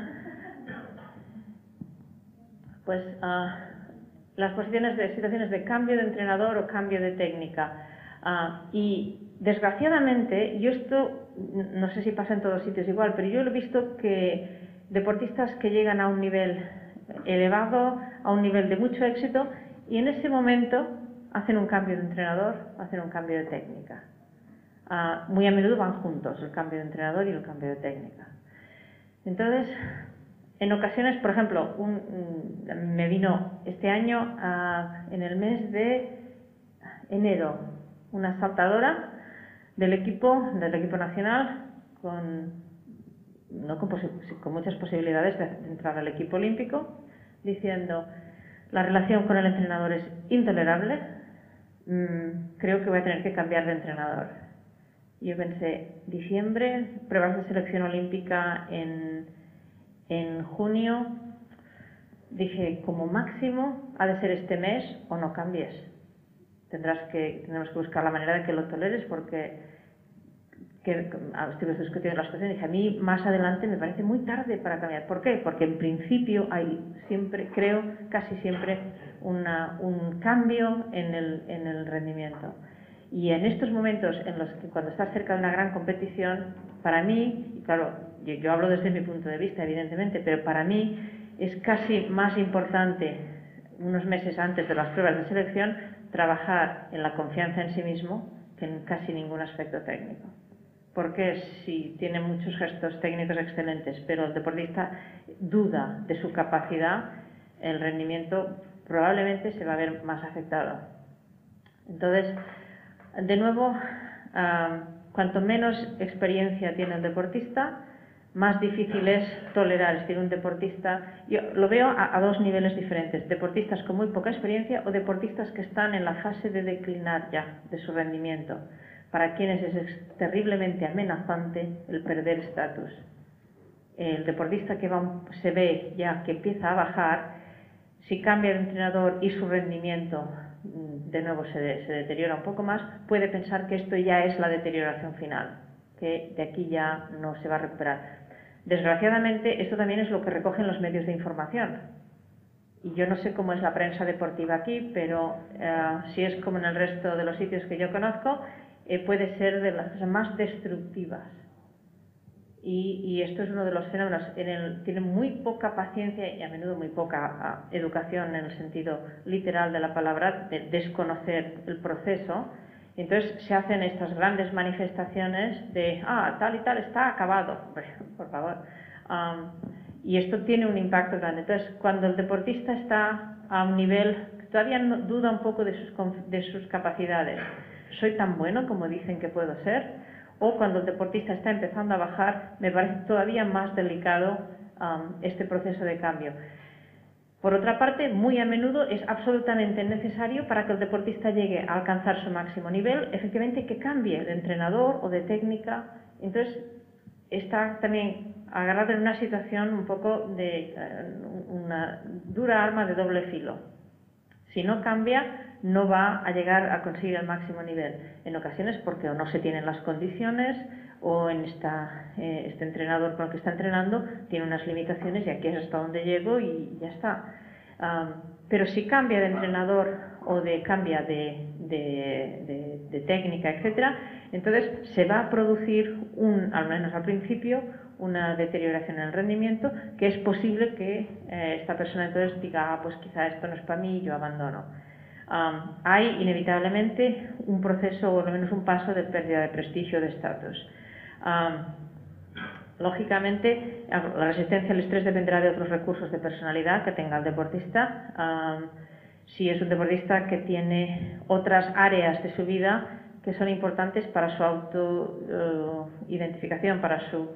¿Quién soy yo? Pues yo no soy solo un deportista, pero además pues soy alguien que, que se preocupa o que saca buenas notas en la escuela, o que estudia tal cosa, o que toca muy bien el piano, si tiene otras áreas que le permiten de alguna forma amortiguar. Pero el deportista, y esto nos lo encontramos yo por lo menos cada vez más, que se dedican exclusivamente al deporte, por lo menos durante un periodo de tiempo, el deportista que se dedica exclusivamente al deporte es mucho más vulnerable. Porque entonces un fracaso deportivo es un fracaso personal. Ese deportista no tiene nada más. Y esta correlación, soy mal deportista, soy mala persona, se establece rápidamente. No valgo como deportista, no valgo como persona. Mi valor personal está determinado por mi valor deportivo. Entonces, esto hace a cualquiera mucho más vulnerable. El nivel de estrés, por ejemplo, ante una competición será mucho más elevado para el deportista que solo tiene esto o cuya, cuya identificación personal está basada más en esto. La dimensión temporal me refiero a esto, el deportista que está subiendo o el deportista que está bajando. ¿En qué momento de la carrera deportiva ocurre esto? Ah, de todo esto, evidentemente, no tengo datos para daros, para decir es peor aquí o es peor allí. Lo que os estoy dando es, es mi opinión, mi visión de lo que yo he ido viendo. Es una de las cosas que este modelo me gustaría empezar a objetivizar y de hecho tengo, gracias a Dios, tengo una, una alumna de, doctorado que ha empezado ahora que está interesada en hacer esto, sino medio incapaz en estos momentos de ponerme a hacer uh, otro gran proyecto, pero es posible que entre las dos empecemos por lo menos a intentar analizar esto. Y evidentemente mm, hablamos de otros recursos de, de, la personalidad del deportista, en la dimensión temporal y las necesidades específicas. Hay deportista que necesita mucho más la admiración de otros, hay para quien, ah, en, este, determinado momento no tiene eh, tanta esta necesidad, entonces no estará a tan nivel de riesgo. Pero de nuevo, cuando alguien va a entrar a un centro de alto Ah, de autoentrenamiento o cuando alguien cambia de entrenador o va a tener que cambiar de técnica. Esto, por cierto, ocurre también con, pero lo mencionaré en el otro contexto, con el deportista lesionado, que en ocasiones tiene que cambiar de técnica porque mm, no tiene la suficiente fuerza en, una pierna o porque, etcétera. Pero hablaré de eso en el, en el contexto de. Seguimos de momento con las, las situaciones esas de, que yo denominamos puntos críticos en la, en la evolución de la carrera, en la vida del deportista de alto nivel, donde se ha de producir esa adaptación psicológica que yo pienso si no se produce el riesgo de abandono deportivo o de, grandes repercusiones a nivel de rendimiento el riesgo es mucho más grande. Entonces, el otro punto de, de riesgo es el momento en que para el deportista se produce lo que el deportista puede considerar el primer gran fracaso. no, me refiero a, perder la primera competición, sino quizá lo que lo que el deportista pueda considerar como un gran fracaso personal. Y he puesto pruebas de selección en Juegos Olímpicos porque por lo general se da en estas situaciones en las que hay esta sensación de irrepetibilidad de la situación, es decir, el deportista que piensa, y eso es una de las cosas em, eh, con que yo me he encontrado situaciones que yo considero difíciles y que en Estados Unidos hemos, hemos intentado realmente enfocar. En las pruebas de selección olímpicas en atletismo solemos ir seis psicólogos atletismo, cuatro trabajan con los que no entran a formar parte del equipo. Y los otros dos trabajan con los que han entrado a formar parte del equipo, porque el riesgo de abandono es extraordinario para los deportistas que la frase que oímos es cuatro años perdidos. Llevo cuatro años entrenando y no he conseguido entrar a formar parte del equipo olímpico. Es aquella parte de la definición del estrés donde se ve que los recursos invertidos no han producido esa ganancia. Entonces se considera como, eh, como el, nivel de estrés es muy grande y en general la, pérdida de autoestima es también considerable porque eh, en muchos casos yo encuentro, por lo menos en Estados Unidos, las pruebas de selección olímpicas son probablemente la competición más difícil que tienen los deportistas. En general, más que los Juegos Olímpicos, en muchas ocasiones, la competición es feroz y en muchos casos, para un deportista conseguir participar en, los, en las pruebas de selección es algo muy importante. Entonces va la familia, van amigos, organizan, es una gran gente en, el pueblo de origen. Como sabéis, el, deporte en Estados Unidos no está subvencionado oficialmente.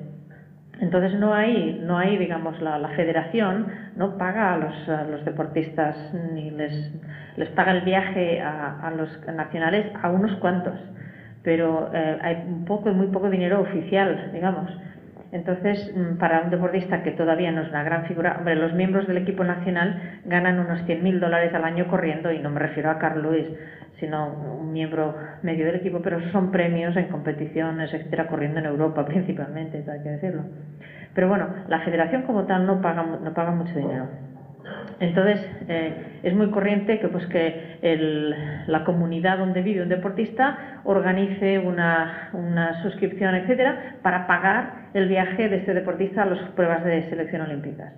Pero luego se convierte en un elemento de presión sobre todo si el rendimiento no es luego volver a casa y decir, pues después de todo no he conseguido uh, calificarme para las pruebas de, para los Juegos Olímpicos, o el que va a los Juegos Olímpicos y una vez llega allí eh, no, no, rinde, sobre todo de nuevo cuando hay esa, esa sensación de irrepetibilidad.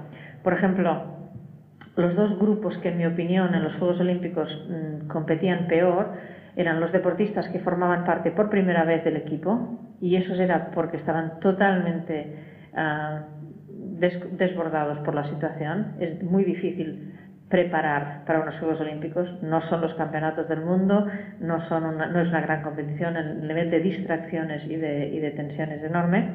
Hablaré de esto un poco más mañana. Pero uh, el otro grupo que tenía el máximo, en mi opinión, nivel de estrés, um, eran los deportistas que pensaban que estas eran sus últimas Olimpiadas. Aquí tengo que hacer lo que no he hecho nunca.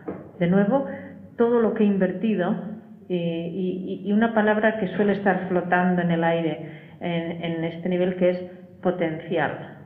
Yo tengo mucho, es cuando decir, esto es un deportista que, es un deportista potencialmente muy bueno, tiene mucho, uh, muchas, mucha habilidad, tiene muchas posibilidades, pero no las ha realizado. Esta es la segunda parte que falta. Este deportista es el que yo, yo he visto en estas situaciones uh, con el máximo nivel de estrés que ya está, no voy a volver a competir en los Juegos Olímpicos y, entonces evalúan toda su participación deportiva de una manera muy negativa y ocasiona una, unas, una, vamos, situaciones, eh, considero yo, bastante, bastante críticas. Por eso, de nuevo, trabajar con la gente eh, y evidentemente que alguien no consiga entrar al equipo en las primeras pruebas de selección olímpicas o en las pruebas de selección olímpicas es el peor momento para decidir abandonar el deporte. Emocionalmente no están haciendo un análisis de la situación uh, correcto.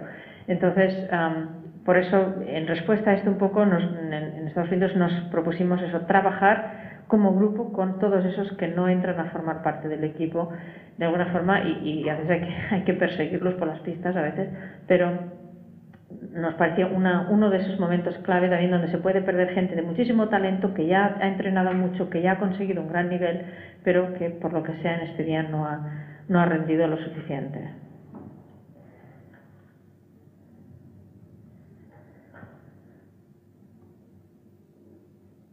Esto también lo he mencionado un poquito eh, esta mañana, es lo de mantenerse a nivel de campeón, el estrés de estar arriba.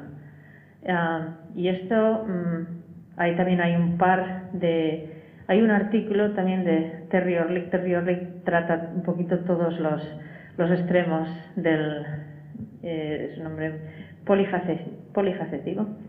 Um, y tiene un artículo que creo que hace una revisión de la situación, en, en, mi opinión, en mi experiencia, muy, muy ajustada a la realidad. ¿Qué pasa con el deportista que ya que consigue un éxito extraordinario? Un récord del mundo, una medalla de oro, un campeonato nacional, un, un, éxito internacional importante, eh, todo es relativo a las expectativas de, para algunos deportistas, pues, por ejemplo, algunos deportistas españoles, un gran éxito era llegar a la final de las Olimpiadas. Uh, para muchos deportistas en Estados Unidos, si no hay medalla, no, no, no es bastante. Pero alguien que consigue un éxito uh, importante, entonces se produce un nivel de, un, para mí la sensación de, de, pérdida que se produce aquí es esa de todo lo que se ha invertido, las ganancias que produce, de repente, vamos a ver, eso no es lo que yo esperaba. Y trae consigo toda una serie de cambios negativos que la persona no anticipaba. Por ejemplo, el deportista que tiene un nivel de éxito muy elevado, una de las cosas que se encuentra es que de repente las demandas de en su tiempo son eh, muchas. Tiene que ir a, entrevistas a televisión, a prensa, le piden que, que, vaya a tal sitio de una charla a estos niños. Con lo cual, la rutina diaria establecida que le había permitido entrenar de una determinada manera y llegar a un rendimiento se interfiere totalmente, cambia, tiene mucho menos tiempo, por ejemplo, para entrenar y muchas más distracciones. en algunos casos, los que yo he visto, sobre todo en el equipo de, atletismo, ah, en Estados Unidos, claro, alguien, un récord del mundo, una medalla de oro, etcétera, representa no solamente una, una, fama, representa una ganancia económica considerable. Entonces, con esta ganancia económica empiezan a salir familiares de debajo de las piedras. Y de repente todo el mundo es, hombre, yo pues es que fuimos juntos al colegio, tengo un proyecto que... pero el nivel, sobre todo esto, eh, y de nuevo es una, cosa quizá un poco más específica desde el punto de vista cultural, pero muchos de los deportistas negros, cantidad de familiares en situaciones económicas peores, de repente asumen, esperan y hay casi como una imposición de que ahora tú te vas a cuidar de los 27 parientes ah, y es realmente así. Eh, mantienen a, familias muy extensas. No solamente esto, sino que para algunos de ellos se convierten en, o se les exige que se conviertan en representantes o en protectores de toda la raza negra, por ejemplo. Entonces las expectativas y las demandas, cualquier cosa que hagan está juzgada. Si les invitan a ir a hablar a una escuela pobre de un suburbio de Chicago y no tienen tiempo de ir, entonces de repente es, ah, claro, no solamente es que no tiene tiempo de ir, sino es que, que fíjate, que no se preocupa de los pobres niños negros que no tienen oportunidad. Hombre, pero eh, el representante de todas las causas sociales es, muy injustas las demandas, pero son, son muy reales. Entonces hay una serie de cambios sociales, cambios en el medio ambiente familiar.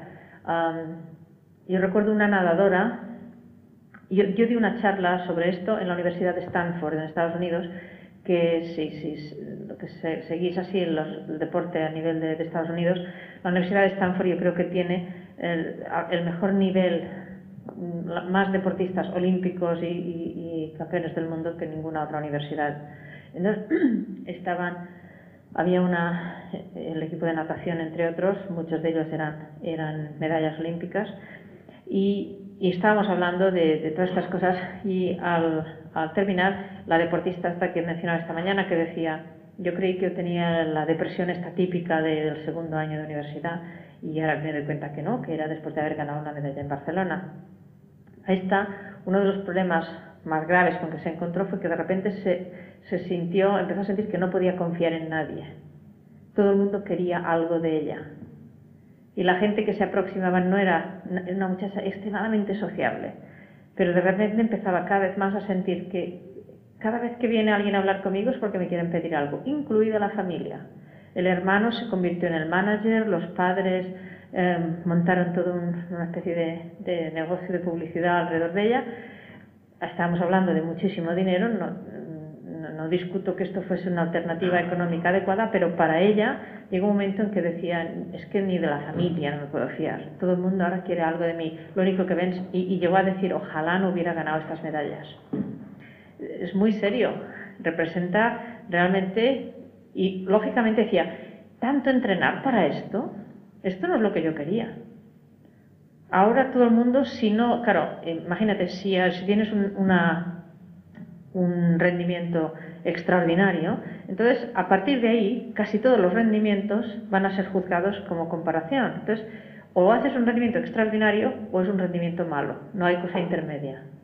Un rendimiento medio para alguien de quien se espera un rendimiento extraordinario es malo. Entonces es una presión constante la que sienten y considerando además que incluso mantener un rendimiento muy bueno es difícil porque les ha cambiado la vida, ya no tienen el mismo tiempo para entrenar, no tienen la misma tranquilidad porque ahora tienen todas estas otras cosas que hacer, la televisión, managers, se ha, se ha complicado muchísimo la vida. Y luego hay esto, la sensación de soledad. Todo el mundo va a por mí. Si voy a una competición, lo que quieren no es hacer una marca buena, es ganarme a mí. Se ha convertido en la satisfacción personal. Y todo el mundo, a ver, fíjate, esto ahora no lo hace tan bien, ¿eh? A ver qué pueden criticar, desde la prensa hasta, hasta con otros mm, deportistas, entrenadores, etc. En el caso de esta chica en particular, ah, una de las cosas que ocurrió es que evidentemente la familia presionó para que se convirtiera en profesional. Eh, ella se convirtió en profesional y entonces se dio cuenta de que no podía competir por la universidad. No podía nadar ya con el equipo de la universidad. Y entonces estuvo absolutamente deprimida todo el año porque para ella lo más importante y lo más divertido era competir con el equipo de la universidad, ser parte del grupo y ya no lo era iba a la universidad pero no podía competir con el equipo de natación. Y realmente ella hubiese cambiado las medallas olímpicas para poder volver a competir, ser parte del equipo. Era una cuestión además de edad, la chica de, de 18 años.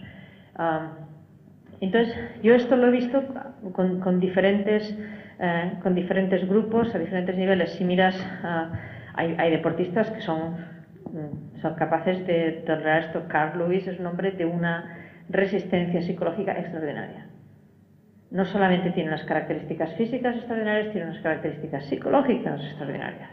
Y es un hombre que se crece ante la presión, ante la demanda, ante la adversidad, le gusta el conflicto. Y, entonces, bien, si, si van a por él, mejor. Y por eso es un hombre que salta mucho mejor en el tercer salto cuando está todo perdido, entonces es cuando hace el salto extraordinario. El primer salto lo pierde casi siempre. Porque ah, quedan dos todavía. Es desesperante verlo, sí, pero hombre, por favor, no. Pero hay otros con, con igual o más talento físico, que sin embargo no tienen estas características, que han hecho rendimientos extraordinarios y han sido incapaces de repetir estos rendimientos después. Y en muchos casos hay esa sensación de creo que no ha valido la pena. Es una de las áreas donde creo que sabemos menos. Yo me lo he ido encontrando y cada vez que me lo he encontrado al principio me ha sorprendido. He dicho, vamos a ver, claro, esto es una auténtica depresión esta persona está pensando esto, mira lo que he dedicado, mira lo que he hecho, si lo sé no vengo. Y, es algo que creo que hemos hablado poco y hemos preparado poco a los deportistas y hemos preparado poco a los entrenadores. Y, en parte pienso porque no sabemos qué decir. Yo, entre otros, mm, no sé exactamente cómo preparar, pero sí me parece un área importante, un área a considerar. ¿Qué pasa cuando un equipo ha conseguido el campeonato nacional? cuáles son las expectativas, qué puede esperar el entrenador, qué pueden esperar a los deportistas, cómo hay que manejarlo esto, qué podríamos hacer, qué, necesidades tiene psicológicas este equipo que un equipo que no ha llegado allí no tiene todavía.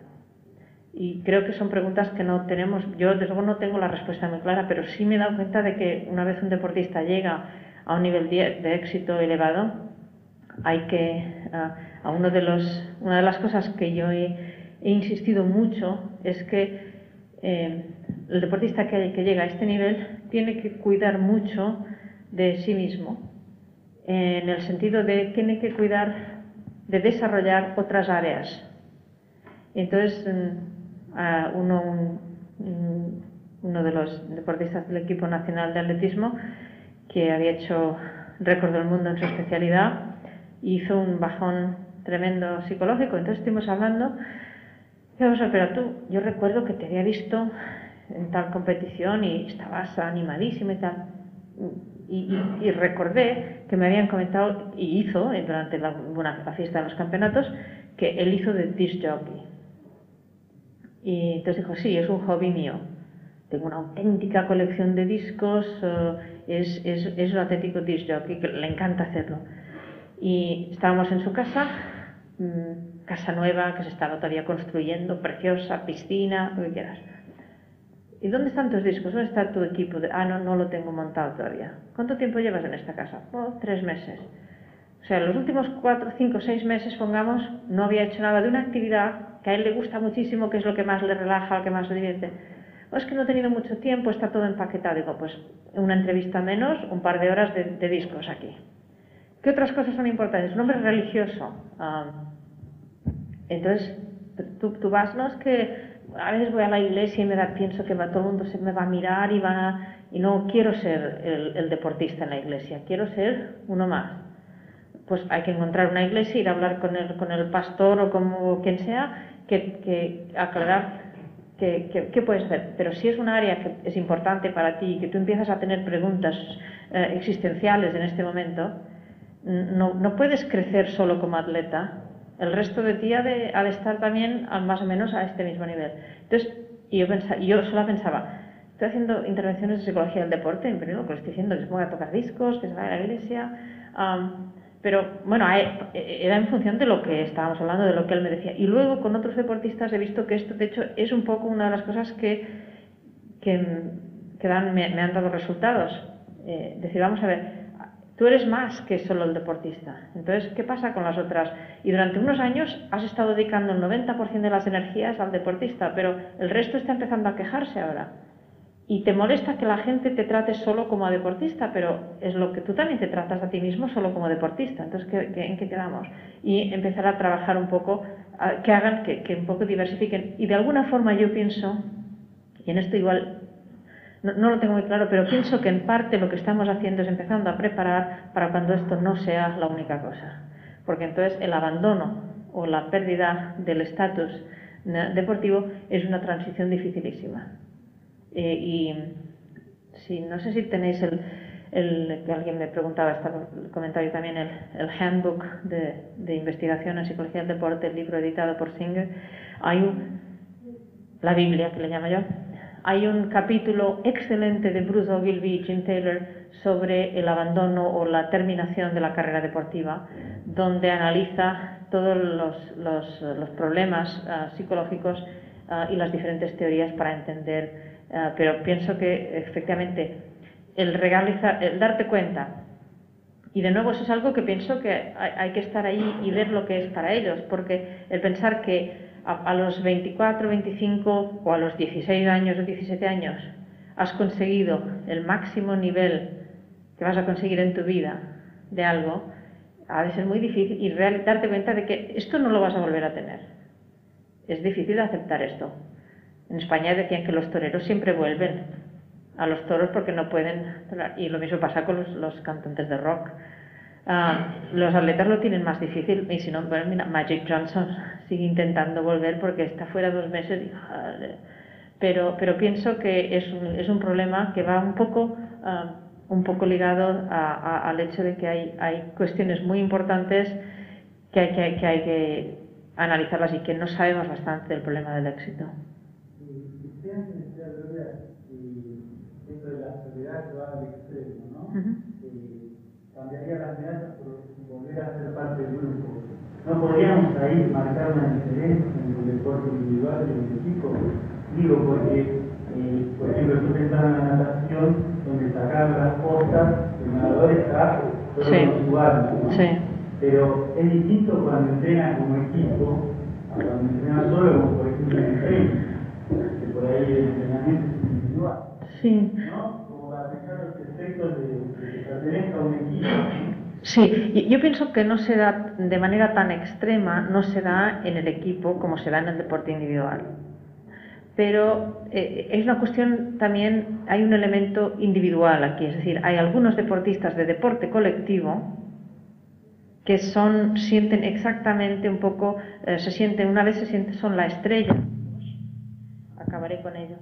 Una, una vez se sienten la estrella del, del equipo, se sienten como que los demás no los tratan. Y de hecho, si lo ves, por ejemplo, en el fútbol, uh, yo pienso que, quizás no tendría que utilizarle a él como ejemplo porque tiene otros problemas, pero Maradona, uh, por ejemplo, parte del problema es que eh, era una figura de deporte colectivo, pero todo el mundo esperaba que él resolviera, o sea, cuando el Barcelona lo fichaba, el Barcelona iba a ganar porque estaba Maradona. Esa era la expectativa de todo el mundo, no solamente en Barcelona, sino en todos lados. Hombre, claro, él va a hacer que gane el equipo.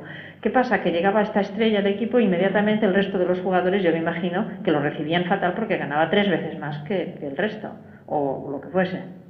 Entonces se creaba una situación en que este decía, me están castigando porque soy muy bueno, pero me están exigiendo que sea muy bueno es, una situación, incluso en un deporte colectivo, cuando tienes a alguien que destaca mucho, pienso que puede ser incluso peor, porque entonces no es ni aceptado por los propios compañeros del equipo. Entonces, mm, es una situación compleja. No se puede decir en deporte individual es más fácil o en deporte colectivo. En general, pienso que sí, que se diluye más el fenómeno, por si eres parte del equipo que ha ganado, etc. Pero eh, por lo menos, y no sé si pasa igual en todos lados, pero en Estados Unidos es una sociedad tan individualista que incluso cuando un equipo ha ganado, se identifica y a quien se entrevista es a uno o dos de los jugadores del equipo. Y algunos de los otros, el resto de la gente no sabe ni siquiera el nombre. Entonces se crean de nuevo estos fenómenos donde la presión es, específica en algunos, pero en general estoy de acuerdo que creo que puede pasar más en deportes individuales. Pero yo lo he visto con los fenómenos estrella en, en básquet, por ejemplo. Se ve también. O sea que es, es complicado. ¿Tenías una pregunta?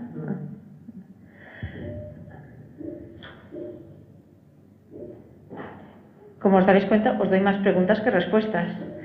Pero es que es así. Tengo más preguntas que respuestas. Por último, la, otra situación de, gran dificultad psicológica, una transición dura y, un deportista al que hay que atender, el deportista lesionado.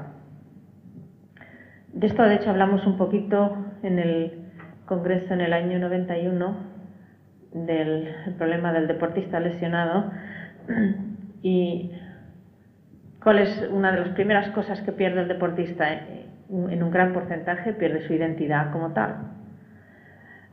y de nuevo, más problemático cuanto más parte de la identidad total está unida a la situación deportiva. El deportista cuya el 90% de su autoestima, de su autodefinición, de su identidad está unido al deporte, pierde el deporte, no sabe quién es.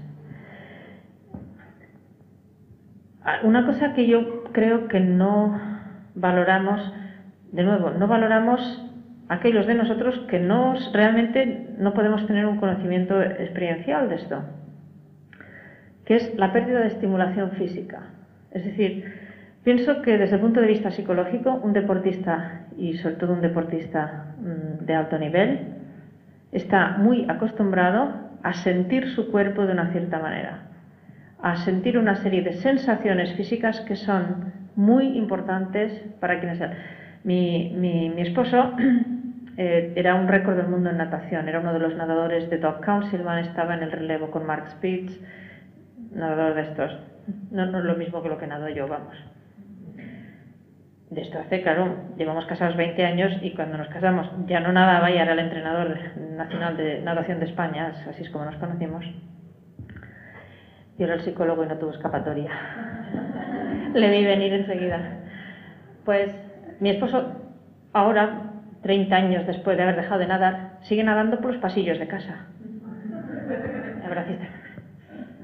Lo ve muy serio, los codos van bien. ¿eh?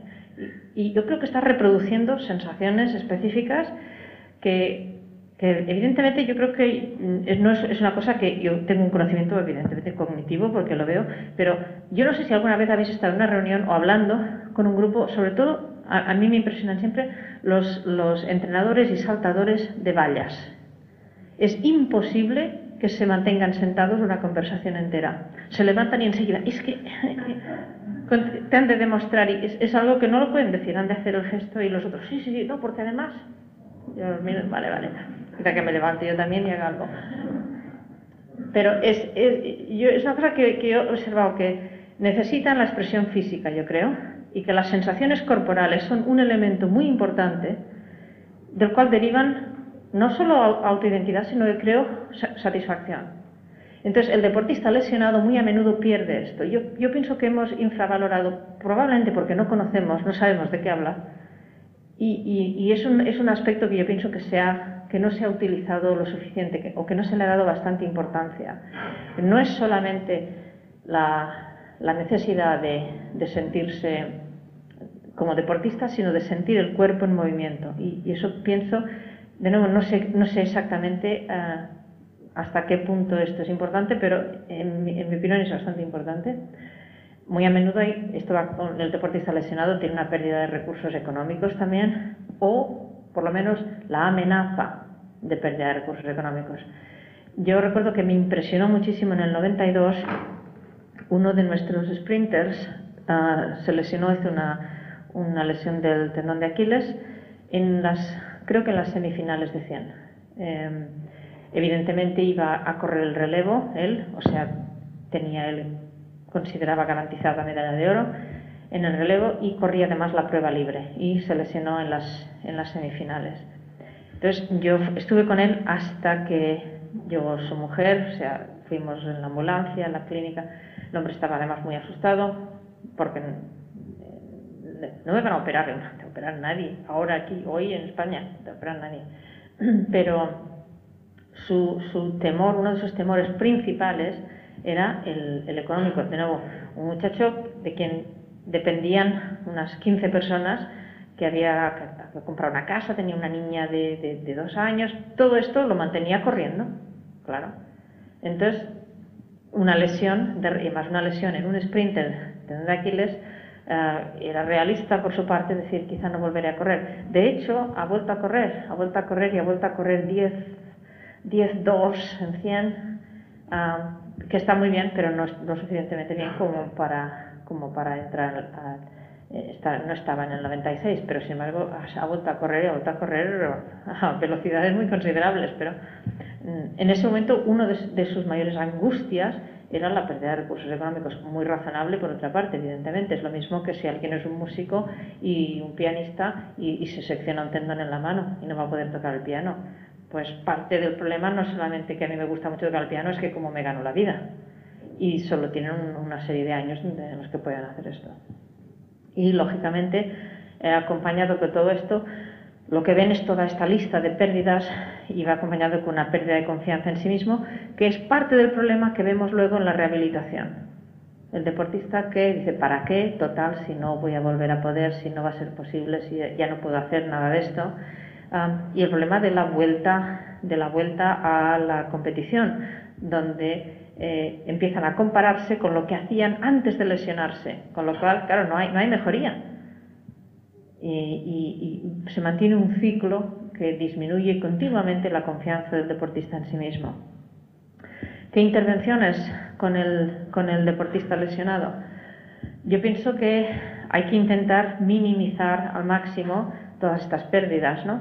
Entonces, la pérdida de identidad eh, una de las cosas que nosotros intentamos es que en la medida de lo posible el deportista lesionado esté presente en todos los entrenamientos vestido de ropa de deporte, no con traje de calle, no si, ni que vaya con muletas ni que vaya con una pierna enyesada. Si, si están aprendiendo una jugada nueva, él allí. Si puede hacer algo con los brazos, que lo haga. Si no puede hacer los ejercicios de piernas, pero que haga el máximo posible y que siga siendo parte del equipo lógicamente mientras está, si está en el hospital, está algo así, no, pero entonces intentamos eh, organizar, desde luego visitas, hay una rotación y la gente va y le dan los entrenos por escrito, esto es lo que hemos hecho hoy, hemos tenido reunión y ha habido estas decisiones, de manera que sigan sintiéndose parte del equipo en la medida de lo posible y minimizar la pérdida de identidad. Hay que ir con cuidado en respetar la individualidad del deportista, es decir, no se puede ir con esto está lesionado, este es el programa.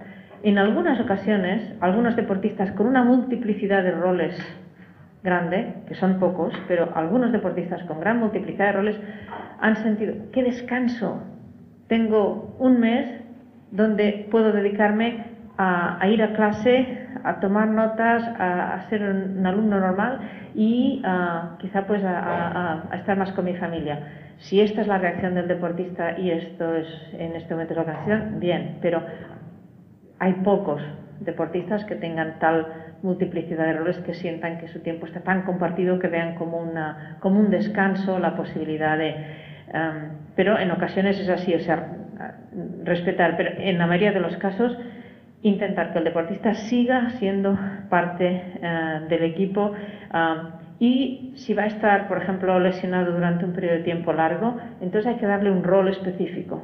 No puede estar simplemente ah, viendo a los demás competir sin ningún rol concreto. Entonces, lo más corriente, o lo que hacemos más a menudo, quizá porque es más fácil, es que el entrenador, por ejemplo, le pida, encárgate de observar tal cosa en concreto o dame eh, feedback sobre esto que yo no puedo. Entonces tiene, no solamente está allí formando parte del equipo, sino que está, tiene una tarea concreta a realizar.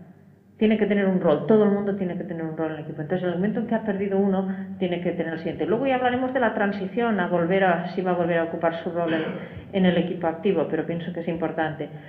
Lo mismo con la estimulación física. Entonces, y de hecho ya se hace con la rehabilitación tan pronto como es posible se vuelven a, incorporar a la actividad en la medida en la que pueden, pero mm, nosotros lo que trabajamos también bastante es, lógicamente, con la visualización, con la práctica imaginada y viendo vídeos de sí mismo en competiciones pasadas o durante, incluso en veces en entrenamientos, etcétera. A veces lo que hacemos es otra cosa, filmar un entrenamiento actual si, si están, por ejemplo, eh, preparando jugadas nuevas, un deporte de equipo, por ejemplo, ah, o nos ha pasado en gimnasia que ha habido cambios en la rutina, etcétera, en el grupo de gimnasia rítmica. Entonces mm, filmábamos el entrenamiento con este nuevo cambio. Decimos, vamos a ver, mira este entrenamiento en vídeo y ponte, estás en el papel de tal persona. De manera que empiecen a captar el ritmo, que empiecen a captar los ajustes temporales, qué es lo que hacen los demás, cómo haría yo si estuviese aquí, de manera que si vuelve esta persona a incorporarse a la posición, tiene ya una serie de mecanismos, eh, aunque sean cognitivos y no motores todavía del todo, pero que tenga una serie de mecanismos que le permitan una más fácil transición, que ya se ha imaginado a sí mismo en este y no, de repente no se encuentre con, con la situación nueva. Al mismo tiempo pienso que ver los vídeos y, verse a sí mismo, películas de, o vídeos de sí mismo, mantiene algo de esta estimulación física. Y como sabéis, toda la investigación en, en, práctica imaginada, en visualización, una de las cosas que se ha demostrado es que hay actividad electromagnética en los grupos musculares que intervienen en la, en la actividad que el deportista está imaginando. Mantiene exactamente. Claro, porque si mantiene la, sensación de pertenezco aquí, estoy, estoy, haciendo, estoy entrenando. Exacto. Y entonces mantiene la motivación. Y, se, también se reduce esta pérdida de confianza en sí mismo. algo, evidentemente. Oh, no hay duda, no hay duda. Sí, sí, sí, sí. Porque, exactamente, porque nunca ven la distancia tan grande entre donde estoy y donde quiero estar. Entonces, si se reduce esto, se ve más posible el, poder volver ahí. Y además también, y esto es un efecto secundario, eh, no se pierde tanto la confianza de los otros miembros del equipo en este. Porque este es uno de los problemas. Luego dicen, no, es que ahora el suplente lo está haciendo muy bien y este igual no está a punto todavía. Y los otros no confían en él y esto se nota, claro.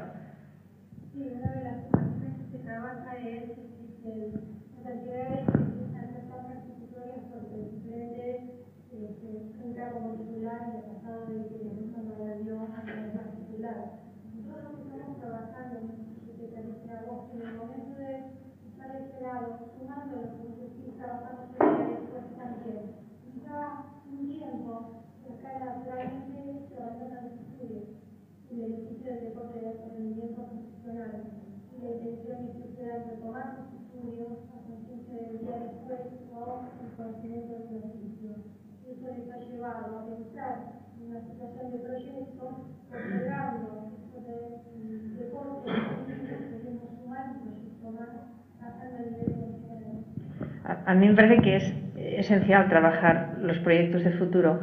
Eh, por lo general, nosotros hemos tenido mucha resistencia de los entrenadores porque tienen miedo que toda la atención que dediquen al futuro están pensando en retirarse, no están poniéndola aquí. Yo pienso que esto es un miedo equivocado, que no es así, pero em, vamos muy despacio con ello, porque, por ejemplo, en los equipos profesionales en Estados Unidos es, es, una situación vergonzosa. La, realidad de lo que ocurre de, de muchachos con poca preparación, sobre todo en deportes como baloncesto, donde muchos de ellos no terminan, ahora van, están yendo directamente desde la enseñanza secundaria, están saltando de la secundaria a, los equipos profesionales de baloncesto. Son 17 años y poca formación. Ah, entonces, este chaval empieza a ganar cantidades de dinero astronómicas, sin ninguna preparación de qué hacer con ese dinero, qué planificar para el futuro.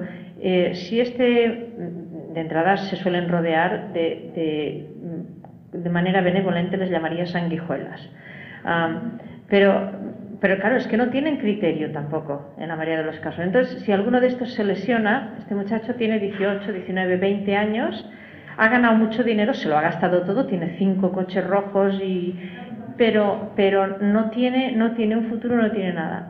Y la NBA mm, está ahora tiene un programa, la NBA tiene un programa, pero ese programa es solo para cuando están ya retirados y se han negado absolutamente a que los deportistas participen en el programa que incluye orientación vocacional, incluye counseling, tiene varias opciones, um, pero este solamente tienen acceso una vez han abandonado ya la práctica del deporte. Y en cambio lo que queremos nosotros es que sea una opción al mismo tiempo.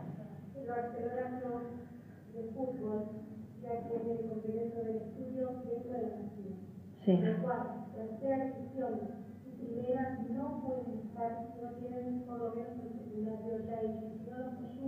Ah, terminando. Y, bueno, y, esto que parece una cosa mínima es una ganancia extraordinaria que seguro que ha sido una batalla de años, porque hay una resistencia terrible. De nuevo pienso que equivocada, pero que tampoco tenemos los datos para demostrar de manera concreta, son datos más intuitivos, pero, pero pienso que eso sería bastante fácil de conseguir esta información, es decir, esto eh, pienso que la gente funcionará mucho mejor si, si se enfocan estos, estos problemas. Pero efectivamente, en el caso del, del, deportista lesionado, el deportista que nada más tiene el deporte, está, tiene muchísimos más miedos, claro, porque tiene menos recursos a dónde ir y porque el cambio es mucho más brusco. Probablemente no ha pensado nunca. El deportista que no tiene nada más está probablemente en la situación de, ah, voy a seguir haciendo esto eternamente, eh, de alguna forma ah, negándose a, considerar opciones o probabilidades. Oh, tengo mucho tiempo por delante. Pues nunca sabes cuánto tiempo tienes por delante y, hasta qué punto estás preparado. Lógicamente, cuanto el soporte familiar, todas estas cosas tienen que ver, pero, pero que es una, es una situación compleja y que es, bueno, lógicamente el deportista el deportista lesionado mm, es una de las una de las áreas. Ahora sí que se le está dando se le está dando más eh, más eh, vigencia y están pidiendo más participación. De hecho a nosotros nos mandan bastantes deportistas. De hecho ahora hay bastantes cirujanos uh, traumatólogos ortopedas cirujanos que nos están mandando gente durante el proceso justo incluso antes de, la cirugía. Yo de hecho pienso que el papel del psicólogo deportivo del deportista que se lesiona es, muy importante la ansiedad de qué es lo que dice el médico. Tú le preguntas, de hecho nos pasa a cualquiera de nosotros. Si vas al médico y estás asustado, cuando sales del médico sabes muy pocos detalles concretos. Incluso la medicación, ¿a esto lo de tomar antes de comer o después? Eh, ¿Estas pastillas cuántas me ha dicho? ¿Tres al día o una tres, eh, tres veces? ¿O qué me ha dicho? Muchos detalles concretos uno no se entera. Cuando en el momento primero de trauma, el deportista es incapaz de absorber información. Entonces, alguien ha de ir y un papel que, sobre todo con deportistas más jóvenes, creo que el psicólogo puede hacer, es el de actuar de nexo de comunicación entre el médico, el entrenador, los padres y el deportista. Que a menudo estas informaciones van cada una por su lado, acaban todos peleados contra todos y el que está en medio es el deportista. Entonces, ah, es una de las, de las tareas, es una tarea difícil, primero porque yo no sé si es una cosa general, pero yo como en mi familia hay muchos médicos, tengo mucha libertad de hablar mal de los médicos. Y, entonces mm, no solamente hablan un lenguaje incomprensible la mayoría de las veces, por, por, puro ejercicio intelectual, sino que eh, les molesta mucho ser cuestionados. Vamos a ver, esto explíquemelo con más calma. ¿Esto qué quiere decir? Ya se lo he dicho. No, no, me lo ha dicho, pero como no lo he entendido, me lo ha de volver a decir. ¿Qué es lo que tenemos que hacer aquí? Espere que lo apunto. Yo a veces les pido a los deportistas, antes de que te vea el médico, escribe una lista de preguntas. Por escrito, porque si no luego se te olvidan. Es que iba rápido el médico y no le he querido molestar porque tenía prisa. Vamos a ver, ¿quién paga aquí? Hombre, yo. Yo preguntaría, ¿eh? eh pero, pero la actitud en ocasiones es de no tengo tiempo. Eh, y en ocasiones, una vez les hacen las preguntas, te las contestan, pero hay que hacerlas. Ah, entonces, mm, los, el entrenador ¿Qué información tiene el entrenador? ¿Qué sabe? ¿Qué sabe el rehabilitador físico, el fisioterapeuta? ¿Qué es lo que ve? ¿Qué es lo que no ve? ¿Cuándo está algo a punto? Eh, otro de los problemas más importantes es el momento de la, reinserción al deporte. Eh, el momento en que el médico dice esto ya está rehabilitado, es, la rehabilitación es física.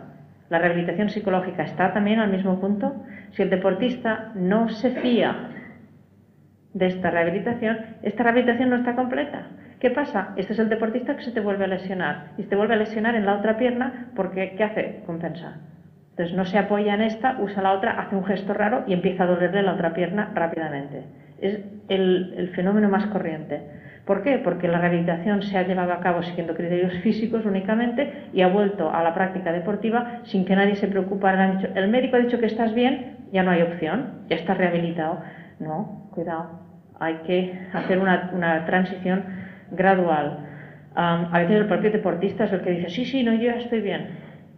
Nosotros vamos con mucho cuidado con la vuelta, sobre todo en algunos deportes. Yo en gimnasia, en gimnasia deportiva, donde hay un elemento riesgo el deportista que se ha lesionado en un cierto aparato, ah, con este deportista el volver a competir en este aparato es algo que hay que hacer de forma muy gradual. Y entonces una vez el médico ha dicho ya puede volver a competir, entonces hacemos un plan de reincorporación a la competición. Primero, estando en entrenamiento al lado de este aparato, viendo cómo hace este aparato todo el mundo, pero sin hacerlo. haciéndolo a medias, con mucha más protección o solamente en el foso con todas las colchonetas sin impacto. Em, haciendo un movimiento fácil eh, hoy, pero y, frenando, asegurándonos de que cada sesión, todo lo que haga, lo haga bien y se sienta satisfecho con él. Entonces añadimos una cosa cuando me estoy aburriendo con esto. Bien, entonces añadiremos una cosa más. Preferimos que tarden más tiempo en, volver a la competición, pero que se en la universidad con el entrenador de gimnasia deportiva, que es un hombre em, de mucho nivel, que ha subido el equipo de la gimnasia deportiva femenina en la universidad nuestra, ha subido muchísimo, han, ido a, competir a nivel nacional y eh, es este entrenador de manera consistente cada vez que alguien ha tenido con una lesión. Mm, hemos participado en el proceso de rehabilitación y en el proceso de vuelta a, la práctica de este aparato, de este ejercicio y de la competición. Independientemente de lo que decía, de lo que dijera el deportista, estoy a punto, yo quiero, sí, sí, sí, sí. Pero aún así vamos a ir muy despacio. Bien, ah, básicamente esta es ah, mi visión de los, ah, puntos de riesgo en la trayectoria deportiva del deportista. Considero que no son, no es una, lista exhaustiva, evidentemente. Entonces, no sé si se os ocurren otras cosas que yo no he mencionado o hay algunas aquí que las modificaríais o que las uh, o tenéis preguntas al respecto de algo que yo he mencionado por encima que no tenga inconveniente en, en profundizar o en añadir o,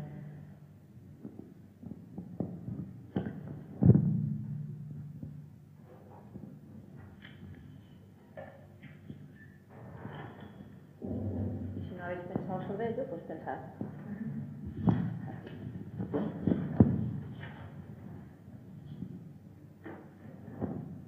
No, yo me quedé pensando en el estrés del éxito, ¿no? que había mencionado antes. Y en lo que decían, la diferencia de lo que es la competencia con los demás, ¿no? Y la mejora con uno mismo. No sé, parece que veo del mundo que alguien más preocupado por mejorar su propio rendimiento, ¿no?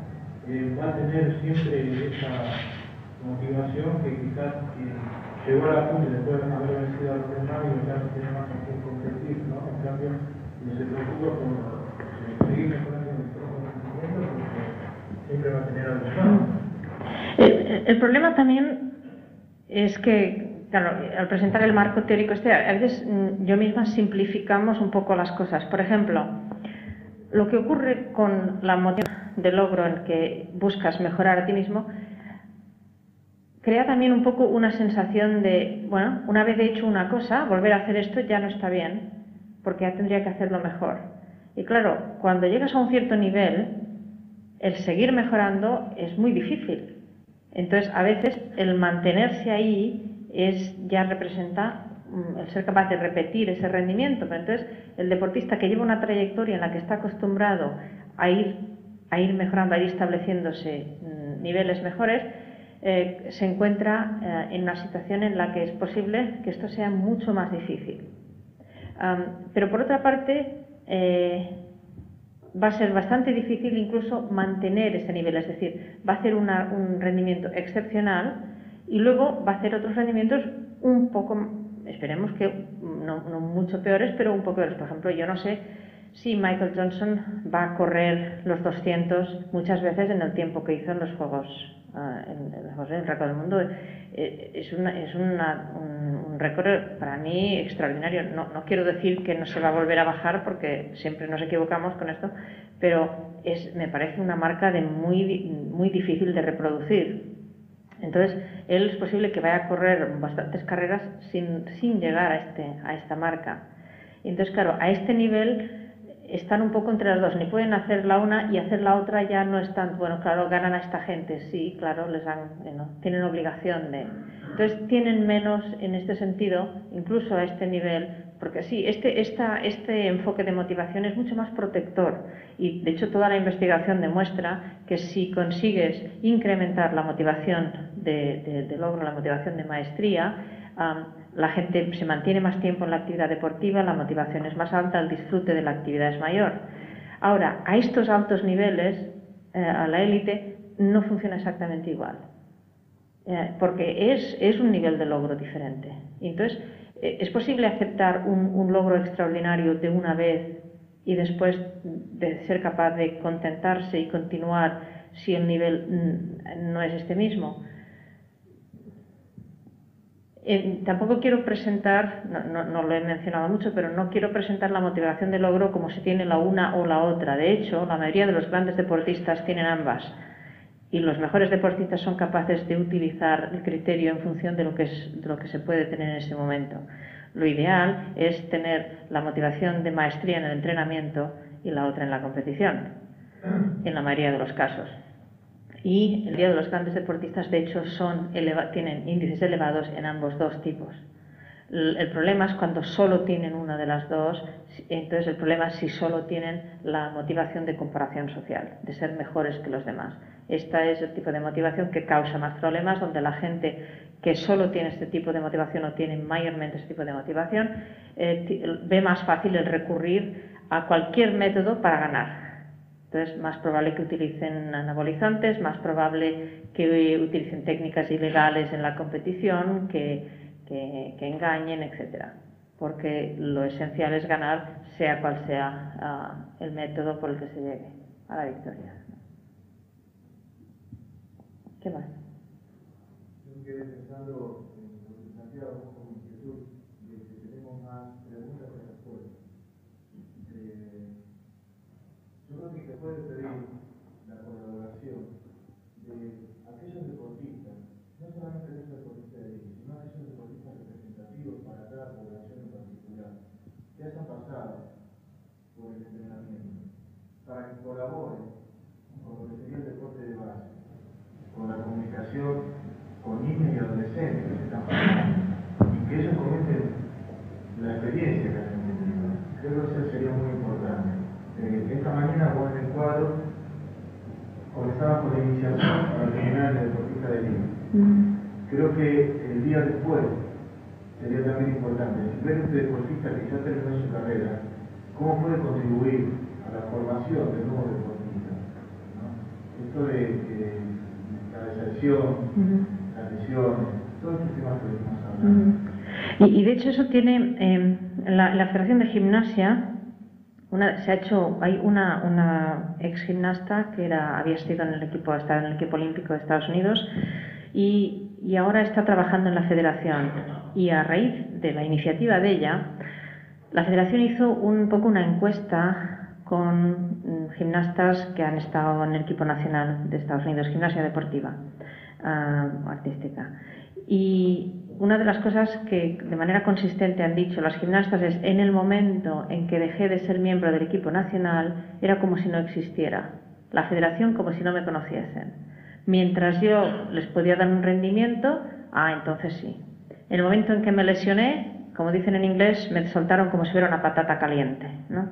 Ah, en el momento en que dejé de estar en el equipo nacional, ni he recibido información, ni sé lo que pasa, con una sensación de amargura decir, vaya, me han exprimido como un limón, una vez he dejado de dar jugo, me han tirado. Entonces, eh, han hecho ahora, se ha creado un, un uh, no sé qué nombre le han dado, pero bueno, como un, foro, como un senado de ex gimnastas que va a, tener una función de advisors para la federación.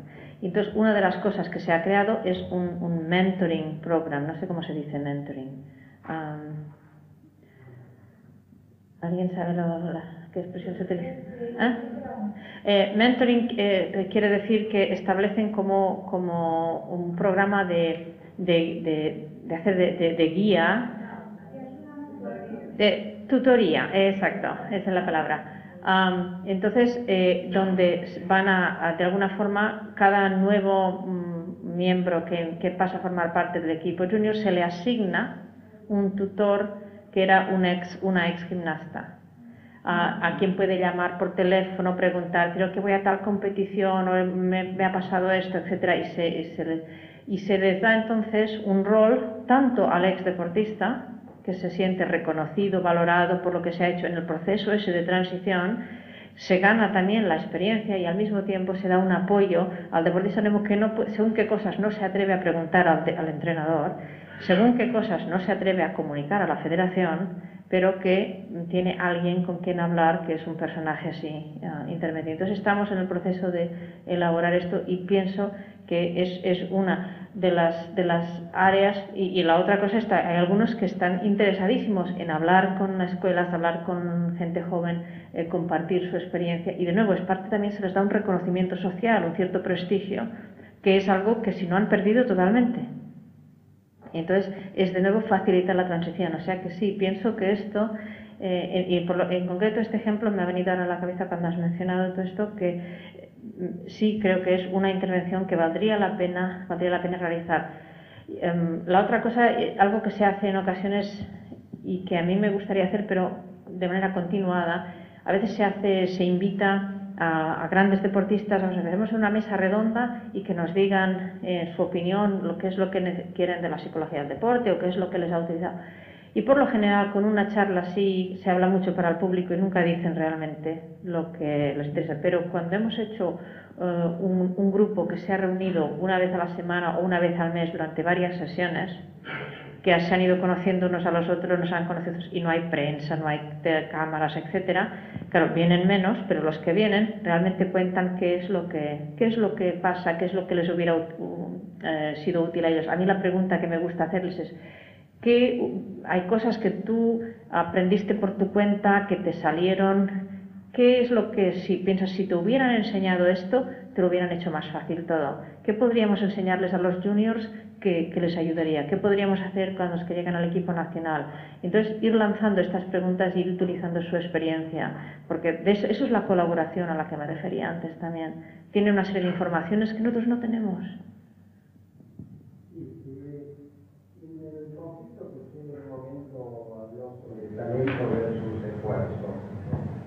Yo he visto que, por ejemplo, de equipos deportivos, se da, hay una situación muy complicada en la cual intervienen los jugadores y también el técnico con este problema. Por ejemplo, eh, suele suceder que los más talentosos son más remisos a entrenar en general, ¿no? Digamos, la psicología del artista, más dueño, que eh, hace siempre pie al más esforzado porque tiene menos talento, tiene que poner más esfuerzo para llegar a lo mismo. Ahora, eh, yo he visto por mi experiencia que los entrenadores se encuentran con la siguiente encrucijada. Por el que no entrena no juega, pero llega el día del partido y todos quieren ganar. Y los mismos jugadores deciden que ponga a jugadores que no entrenó, pero que es el jugador ideal para el resto de sus compañeros por la gran habilidad que tiene. Y al mismo tiempo, por otro lado, le reclaman al entrenador que ponga pautas estrictas en las cuales no salga, es decir, si hijo que no juega no tiene que jugar. Entonces, es un mensaje absolutamente contradictorio, en la cual yo he visto que los entrenadores en muchísimos casos vienen de Perú, no saben cómo resolver eso. ¿Qué decidir? ¿Qué es lo más importante? La construcción, diríamos, de la salud mental del equipo del deportista o privilegiar el tema del rendimiento del equipo grande. Y este tiene siempre un punto de conflicto que va más allá de eso deportivo, ¿no? Yo creo que va para la vida, porque usted decía que, bueno, que se queda solo con el talento, después no puede pasar otra cosa y yo diría que, se queda solo con el talento de la vida, no pasa de ser un niño, nunca puede llegar a ser un hombre o una mujer, se queda solo con el talento. Y en el deporte esto se ve muchísimo y extraordinaria entre dirigentes, entrenadores y los mismos jugadores. Cuando le preguntan a usted en esta situación, ¿usted qué dice? Eh, en general, en general, yo creo que está decidida una pausa de entrada, el, el entrenador con todas las experiencias dijo que si no cumple con el entrenamiento no juega, debe retirar eso. ¿Por qué? Claramente en la, el. Si no lo dice claramente de entrada, no que lo quiere, bueno, acá el que no hace esfuerzo, no va a jugar, lo deja como una amenaza a la gente y demás, pienso que ahí hay un problema. Entonces me parece que lo fundamental es que el entrenador se maneje con pautas en ese sentido muy claras. Yo pienso que es una cuestión de resultados inmediatos o resultados a largo plazo. El entrenador que habla por los dos lados de la boca, ese entrenador puede que hoy, si, este jugador que no ha entrenado, los otros le van a pedir, hombre, es que si este juega no salva el partido, lo pone, salva el partido, tiene buen resultado hoy, la moral de este equipo a largo plazo va para abajo. Este es un equipo con conflicto. Con conflicto y la autoridad del entrenador se ha visto disminuida. La, la confianza del grupo en lo que dice el entrenador ha disminuido. Entonces, puedes tener un resultado hoy, pero a largo plazo, tu autoridad en este equipo yo pienso que se ha visto disminuida. Um, si es una situación de, de yo, pienso que, estas normas a largo plazo eh, es una cuestión también de principio ético. Eh, la, confianza es muy delicada, la confianza hay que ganársela.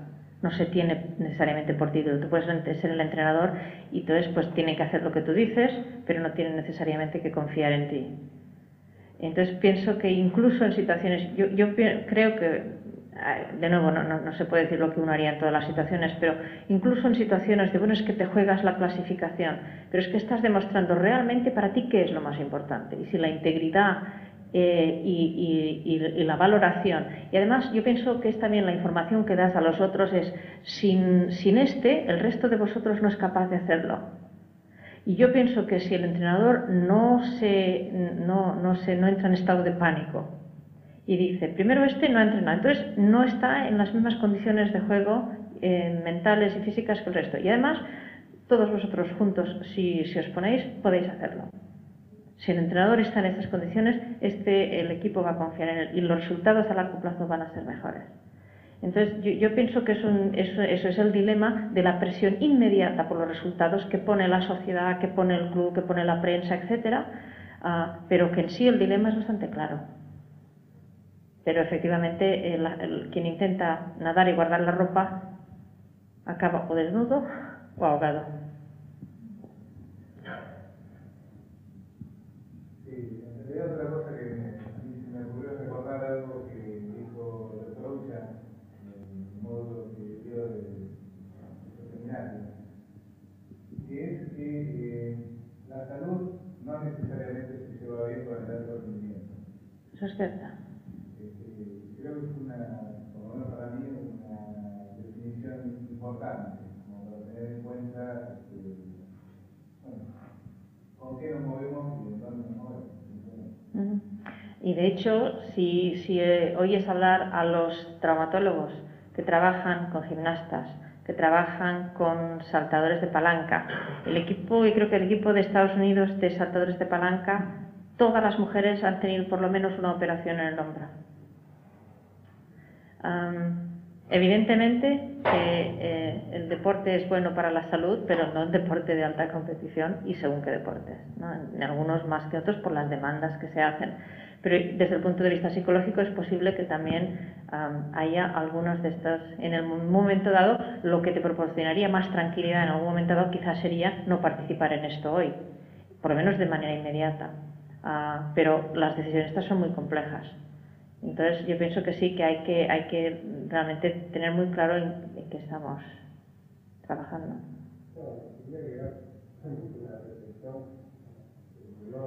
El deporte tiene que soportar la exigencia de ser algo como un camino hacia la salud.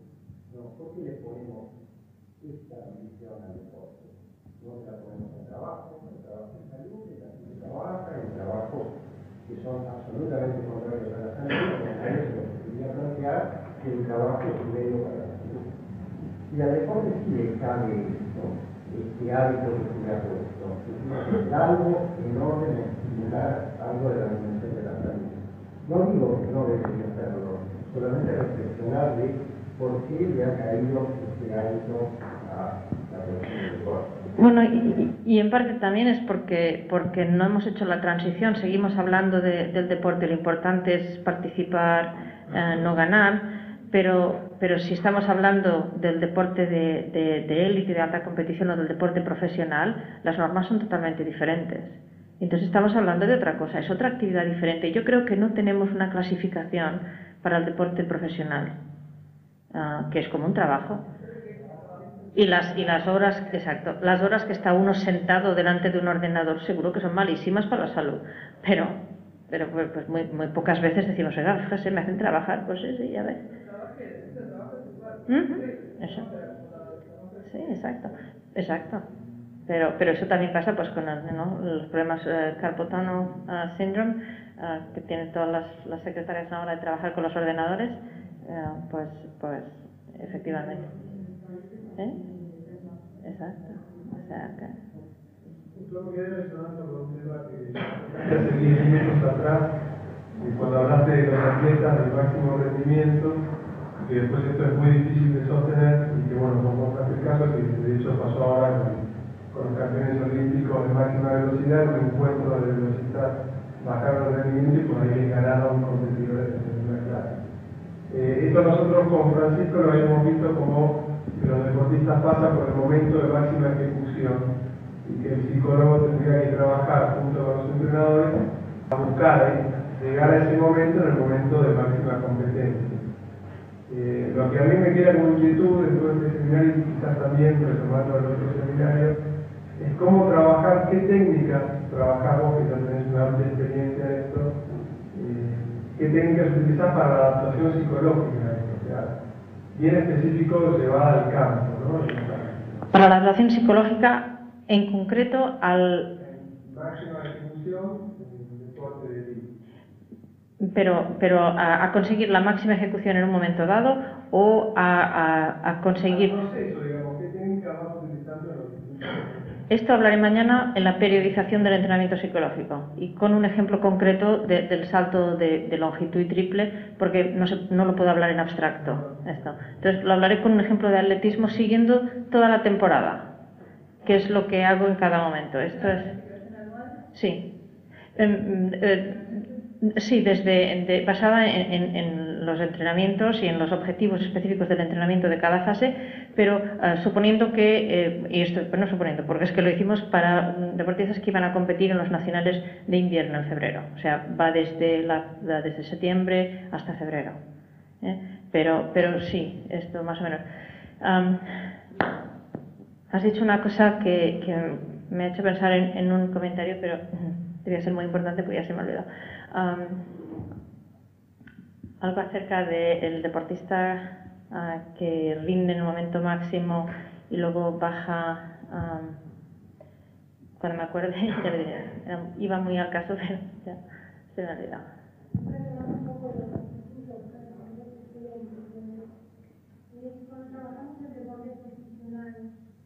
La primaria, el dirigente, entrenador, entrenador deportista recae sobre el equipo morfológico, que supuestamente lo llamamos entrenador. ¿Hasta dónde nosotros podemos hacernos cargo de esa demanda? Cuando en realidad se define esa deportista y la persona no puede liderar. O está tan presionada esa persona que es imposible que actúe como deportista. Hasta dónde nosotros podemos preservar a esa persona que que el deporte constitucional tiene un máximo de un año. Mm. En, un caso extremo, pienso que de la misma manera que le diríamos a alguien que, tiene que cambiar de trabajo, uh, en un caso extremo donde la salud mental de esa persona esté a riesgo, Yo, bueno, y de hecho es, el proceso de, ayudar a la persona a explorar por qué estás en esto, cuáles son las ventajas y desventajas y crees que lo puedes continuar y si no, cuáles serían las alternativas. Y en alguna ocasión yo lo he hecho con, deportistas profesionales. Eh, en otros casos, yo con el deportista profesional, de nuevo es una cuestión, por lo general se trata ya de un deportista de más, de más edad, si fuese un, eh, con algunos eh, tenistas, que son profesionales pero muy jóvenes, ahí sí pienso que, a veces habría que tener intervenciones más fuertes. Yo supongo que habéis seguido un poco, por lo menos por la prensa, todos los problemas de Jennifer Capriati, que, son, son problemas que yo creo que se podían predecir exactamente desde el momento en que esta niña ah, empezó a jugar profesional. Pero, y, realmente ahora, no sé, incluso como, como persona, en este momento está teniendo una serie de problemas ah, considerables y, me parece desde el punto de vista ético, si había un psicólogo, que no lo sé, eh, o lo dudo, pero si había un psicólogo trabajando con esta familia, pienso que, que tenía por lo menos la obligación de haber dicho algo que seguramente no lo hubieran hecho en ningún caso, porque esto es el otro problema. Ah, en, muchos momentos el poder de decisión que tenemos es, es, es muy bajo. Ah, yo en algún momento he estado en una situación con... Que no puedo dar muchos detalles, pero, pero he estado en una situación con un equipo nacional con, en donde he dicho esto a cambiar y ha de cambiar ahora y, para mí era una cuestión de, seguridad, de, la seguridad física y, psíquica de, este, de, los componentes del equipo que eran jóvenes. Pero, y en ese momento mm, tuve clarísimo, dije, es que si tengo que ir a la prensa, voy a ir a la prensa. Y esto siempre asusta mucho a las federaciones. E inmediatamente dije, bueno, no, no, no, a ver, ¿qué crees que hay que hacer? Digo, no, es que, es que esto, hay que hacer esto pero es una, es una situación realmente única donde yo pensaba que la, su, seguridad física estaba comprometida y, lo sigo pensando. y es, pero no decir, no, no es que yo deje, renuncie a la situación, me voy de psicólogo, es que esto se para ya. Mm, y se paró. Pero, pero esto, no sé si hacía falta la amenaza o no, pero, pero era el único poder que yo tenía en ese momento y, y no tuve ningún inconveniente en utilizarlo. Pero, pero en otras, en otras situaciones, en deporte profesional con adultos, te das cuenta de que la persona puede, es posible que pienses, te estás destrozando, hay todas estas presiones, te siguen pidiendo todo esto que es, me parece imposible. Entonces es intentar, vamos a ver, ¿cómo podemos hacer esto, que esto sea manejable? Yo en las únicas situaciones en las que he ido con más cuidado ha sido cuando, por ejemplo, una, deportista profesional con un problema que, consultaba, un problema de tolerancia al dolor entonces yo lo único que pedí antes de trabajar con ella fue certificado por escrito de que mm, continuar esto no iba a resultar en que, esta mujer no pudiera andar dentro de un par de años. Y el médico dijo, no, es un problema de dolor, de dolor que, no sé hasta qué punto es tolerable, pero, pero no, es, no compromete el funcionamiento futuro más de lo que ya está comprometido por la lesión en sí misma. ¿no? Entonces hicimos un programa de preparación de tolerancia al dolor eh, durante la competición utilizando, entre otras cosas, hipnosis, utilizando diversas técnicas, pero mm, y, con esta cuestión pensando, hombre, aquí lo lógico sería dejar de competir. Esto me parece un poquito absurdo, decir, vamos a ver, ¿cuánto dolor puedo tolerar y seguir haciendo esto? Pero claro, es de nuevo, esto es un trabajo. Y esta persona dice, ¿tú sabes el sueldo que gano yo haciendo esto? Y, y pienso que puedo hacerlo, ¿puedo tolerar el dolor? Pues lo voy a tolerar.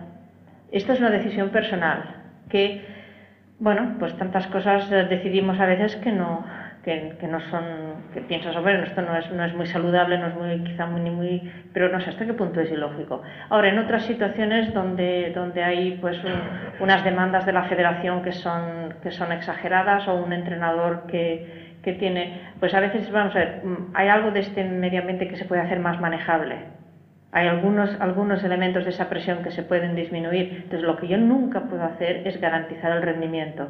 Entonces, yo nunca tomaré responsabilidad por el hecho de que un deportista con el que yo trabaje haya sacado una medalla de oro, porque si eso fuese la medalla de oro la tendría yo. Pero mm, no es todo psicológico, evidentemente. Entonces, no, no tomo responsabilidad si lo hacen muy bien, pero tampoco la tomo si fracasan en ninguno de los dos casos. Hoy no trabajabas con este, pues no ha quedado bien, pues no, no ha quedado bien. pero yo no saltaba, ¿eh? Pero tampoco saltaba yo cuando ha quedado muy bien. Y esto hay que tenerlo muy claro. Entonces, es, un poco, no se pueden hacer promesas de rendimiento cuando hay tantas cosas eh, eh, exacto a tener en cuenta. Pero, pero que en ocasiones es muy importante tener en cuenta, decir, vamos a ver, esta es una situación irracional eh, y entonces, mm, ¿cómo se puede reaccionar de manera racional a una situación que no lo es? Eh, es exagerado. Entonces, vamos a ver, yo lo único que puedo prometer es intentar hacer esto un poco más manejable. Si, esto, si en esto estamos de acuerdo, pues, pues ahí está mi función. Pero en ocasiones, mm, claro, además yo por otra parte, esto sí, si has oído hablar a Bruce Ogilvy, Bruce Ogilvy eh, es el hombre de más experiencia en psicología del deporte eh, probablemente en el mundo. Yo además le tengo un cariño extraordinario, es como mi abuelo. Y, Ogilvy dice que él puede presumir de ser el psicólogo del deporte que, a quien han echado de más trabajos, porque ha trabajado con muchísimos equipos profesionales. Y entonces dice, hombre, en el equipo profesional, por lo general, entras con el entrenador, sales con el entrenador. Ah, y, luego o entras con un directivo y sales en el momento en que tus objetivos interfieren con el directivo. Y entonces él dice que él está orgullosísimo de que nunca ha comprometido sus objetivos o, o, la, o la seguridad del deportista y que siempre ha tenido a la persona por delante del deportista. Dice, ahora, la persona tiene el derecho a escoger. Y si un deportista hace una elección que yo le digo, oye, esto es una animalada, ya lo sabes, ¿no? Sí y eso es lo que tú quieres hacer, no porque lo dicen toda esta gente, no, no, yo y por estos motivos. Muy bien, pues si te puedo ayudar en algo y no me parece que te estás haciendo más daño, sí, pero si no te diré, pues chico, yo esto no, en esto no te puedo ayudar. Y, pienso que esto es una cuestión de, no dejarse arrastrar por las presiones, pero también tener conciencia de que no, somos, no tenemos por qué ser los veladores de la lógica, de, que la persona tiene derecho a hacer decisiones, a veces decisiones de alguna forma que nos pueden parecer irracionales siempre y cuando veas que la persona está consciente de lo que está decidiendo. Si el que se está engañando, pues eh, tienes que ir cuidado. Esto tienes que ver todos los elementos. Si aún lo decides, entonces veremos lo que hablamos.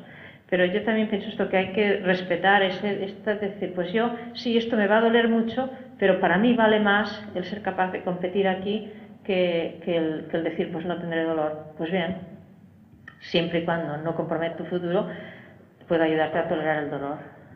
Entonces pienso, yo por lo menos un poco este sería el criterio.